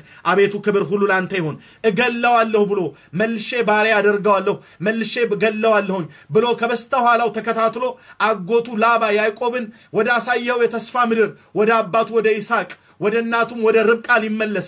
እግዚአብሔር ከነበረበት ከሶርያ ምድር ተነስቶ እግዚአብሔር የዘላለም አምላክ ለአባቶቹ ለአብርሃምና ለይስሐቅ የገባውን የተስፋ ቃል ልትፈጽምለት ወደዛ እያቀና እያለ ላባ መልሶ እንደገና ባሪያ ሊያደርገው ከበስተኋላ ብዙ ሰራዊት አስከትሎ በሄደበት በዚያ ሌሊት ከፊት ለፊት ኤሳው ከኋላ አጎቱ ላባ የሚገሉት በመካከል ላይ አጣብቀውት ወደ አንተ በጮኸ ሰዓት ላይ በጵንኤል በዛ እግዚአብሔር የዘላለም አምላክ በዛ በያቦቅ ወንዝ ላይ ተገናኝተህ ስሙን ያስጣልከው። ስለ እሱ እግዚአብሔር ጌታ አባት ሆይ በኤሳው ፊት ሞገስ የሰጠኸው በእግዚአብሔር የዘላለም አምላክ በላባን ፊት እግዚአብሔር ሆይ እንዳትነካው ብለ ያስጠነቀቅ የአባቶቻችን አምላክ እግዚአብሔር ለእኔም ለእህቶቼም ዛሬም አምላካችን ነህ። አቤቱ ከፊት ከኋላ የሚያስፈራሩን ከፊት ከኋላ የሚያስጠነቅቁን ወደፊት ብንሄድ የሚገለኝ አለ ወደኋላ ብመለስ የሚገለኝ አለ ብለን በምንፈራበት ነገር ሁሉ ጣልቃ እንድትገባለን እንጸልያለን ለዘላለም ስም ይባረክ። አሶራውያን መጥተው እግዚአብሔር በእስራኤል ላይ አደጋ ሊጥሉ መጥተው በዚያን እግዚአብሔር የዘላለም አምላክ የአሕዛብ ንጉሥ የሆነ በእስራኤል ላይ ወጥቶ አደጋ ሊጥል ኢየሩሳሌምን ሊያፈርስ ህዝቦቿን ሊማርክ በመጣ ሰዓት ላይ ሰናክሬም የተባለው 85 ሺህ ወታደሮችና ጦሮችን አስከትሎ እግዚአብሔር የእስራኤልን ከተማና ኢየሩሳሌምን በከበበ ሰዓት በዚያ ሌሊት ከጻፈው የክፉ ምክር ደብዳቤ የተነሳ ሕዝቅያስና እግዚአብሔር ህዝቡ ተናውጠው በነበሩበት ሰዓት ባሪያህን ነቢዩ ኢሳያስን ልከህ ከሰማው ቃል የተነሳ አትፍራ፣ እኔ መንፈስን እልክበታለሁ ከሰራዊቱም ሁሉን በአንድ ሌሊት እንደሚሞቱ እግዚአብሔር የዘላለም አምላክ እንደተናገርከው በዚያ ሌሊት እግዚአብሔር በስምህ ታምነን እንጸልያለን። እህቶቼን፣ ወንድሞቼን እኔንም በስምህ በተጠራ ህዝብ ላይ እግዚአብሔር የዘላለም አምላክ እንደ ሰናክሬም ክፉ ደብዳቤን የሚጽፉ እንደ ሰናክሬም ብዙ ነገሮችን ለማድረግ ለማጥፋት የሚተባበር የጨለማው ኃይል ጉልበት ሰዎችን ሁሉ የሚያስተባብር ክፉ መንፈስ እግዚአብሔር በኢየሱስ ክርስቶስም እጸልያለሁ በተሰጠኝ የልጅነት ስልጣን። በዚያ ሌሊት አንድ መልአክ ልከህ ከአሶራውያን መንደር የነበሩትን 85 ሺህን ለነገ ኢየሩሳሌምን ወጥተው በቅጥሯ ላይ ድንጋይ ሊወረውሩ ቅጥር ሰይፍን ሊወረውሩ ኢየሩሳሌምና ህዝቦቿን ሊያስጨንቁ ሊወጉና ሊማርኩ የመጡትን አንድ መልአክ ልከህ በሌሊት የአሶራውያንን ወታደሮች በድንኳኖቻቸው ውስጥ በድን እንዳደረግ ለነገ ሊገሉን በመጡ ጠላቶቻችን ላይ በዚህን ሌሊት በዚህን ቀን በእህቶቼም በእኔም ላይ እግዚአብሔር የዘላለም አምላክ በወገኖቻችን በትውልድ ሁሉ ላይ የተመከረ ክፉ ምክር በኢየሱስ ክርስቶስም የፈራረሰ እንዲሆን እንጸልያለን። መልካሚቱ እጅህ አቤቱ ዛሬም ከኛ ጋር ነች። አቤቱ እግዚአብሔር የዘላለም አምላክ እናመሰግንሃለን። የሕዝቅያስ አምላክ አምላካችን ነህ። አቤቱ ጌታዊ ክብር ሁሉ ላንተ ይሁን። ዘንዶ በሴቲቱ ላይ ተቆጥቶ ከበስተኋላ ወንዝን የሚያፍል ውሃ አፈሰሰባት። ሴቲቱን ምድሪቱ ረዳቻት። ዘንዶም ያፈሰሰውን ከአፉ ተቀብላ ዋጠችው እንደሚል አቤቱ በኢየሱስ ክርስቶስ ስም ክፉ በእኛ ላይ የመከረው በቤተ ክርስቲያን ላይ የመከረው በዚህ ቃልህ ላይ የዋሸው የትኛውም የሰይጣን የተፋው የትኛውም የዚህን የወንጌል እውነት የሚቃወም ነገር ጌታ አባቶይ ለባሪያህ ለሙሴ ጌታ አባቶይ በሰጠው በዛች በትር ላይ ሂድ በፈርዖን ፊት ጣላት ብለህ ባልከው ሰዓት እንደ ጣላት እባብ እንደሆነች የፈርዖንም ጠንቋዮች ሲጥሉ እባብ በሆነ ሰዓት ላይ የሙሴ በትር የጠንቋዮችን በትር እንደዋጠች አቤቱ ጌታ ሆይ በዚህ ምድር ላይ ያለ የትኛውም የሃይማኖት ትምህርት ከወንጌል እውነት የወጣ ትምህርት በዚህ የወንጌል እውነት እንዲዋጥ በኢየሱስ ክርስቶስም እንጸልያለን። ዓለም ሁሉ ኢየሱስ እንደሚል እግዚአብሔር ፍጥረት ሁሉ ኢየሱስ እንዲል አዳኙን ስም እንዲጠራ ልጅን ከፍ እንድታደረገው ጌታ መንፈስ ቅዱስ እሱ የእውነት መንፈስ በመጣ ሰዓት ላይ ያከብረኛል ብለን እንዳልክ አቤቱ ጌታ ኢየሱስን እንድታከብረው ጌታ በአውሮፓ በመካከለኛው ምስራቅ በኤዥያ በአፍሪካ እግዚአብሔር በአውሮፓና በካናዳና በአሜሪካ በባህርና በየብስ ላይ ባሉ በሰማይና በምድር የከበረውን የልጅን የኢየሱስ ክርስቶስ ስም ከፍ እንድታደረገው አቤቱ ሁላችን እንድናንስ ጌታ ሆይ በልጅ በኢየሱስም ይህ እንድታደረግ እንለምንሃለን። ክብር ሁሉ ለተቀደሰው ለስም ይሆን። በነገር ሁሉ ከፍ በል።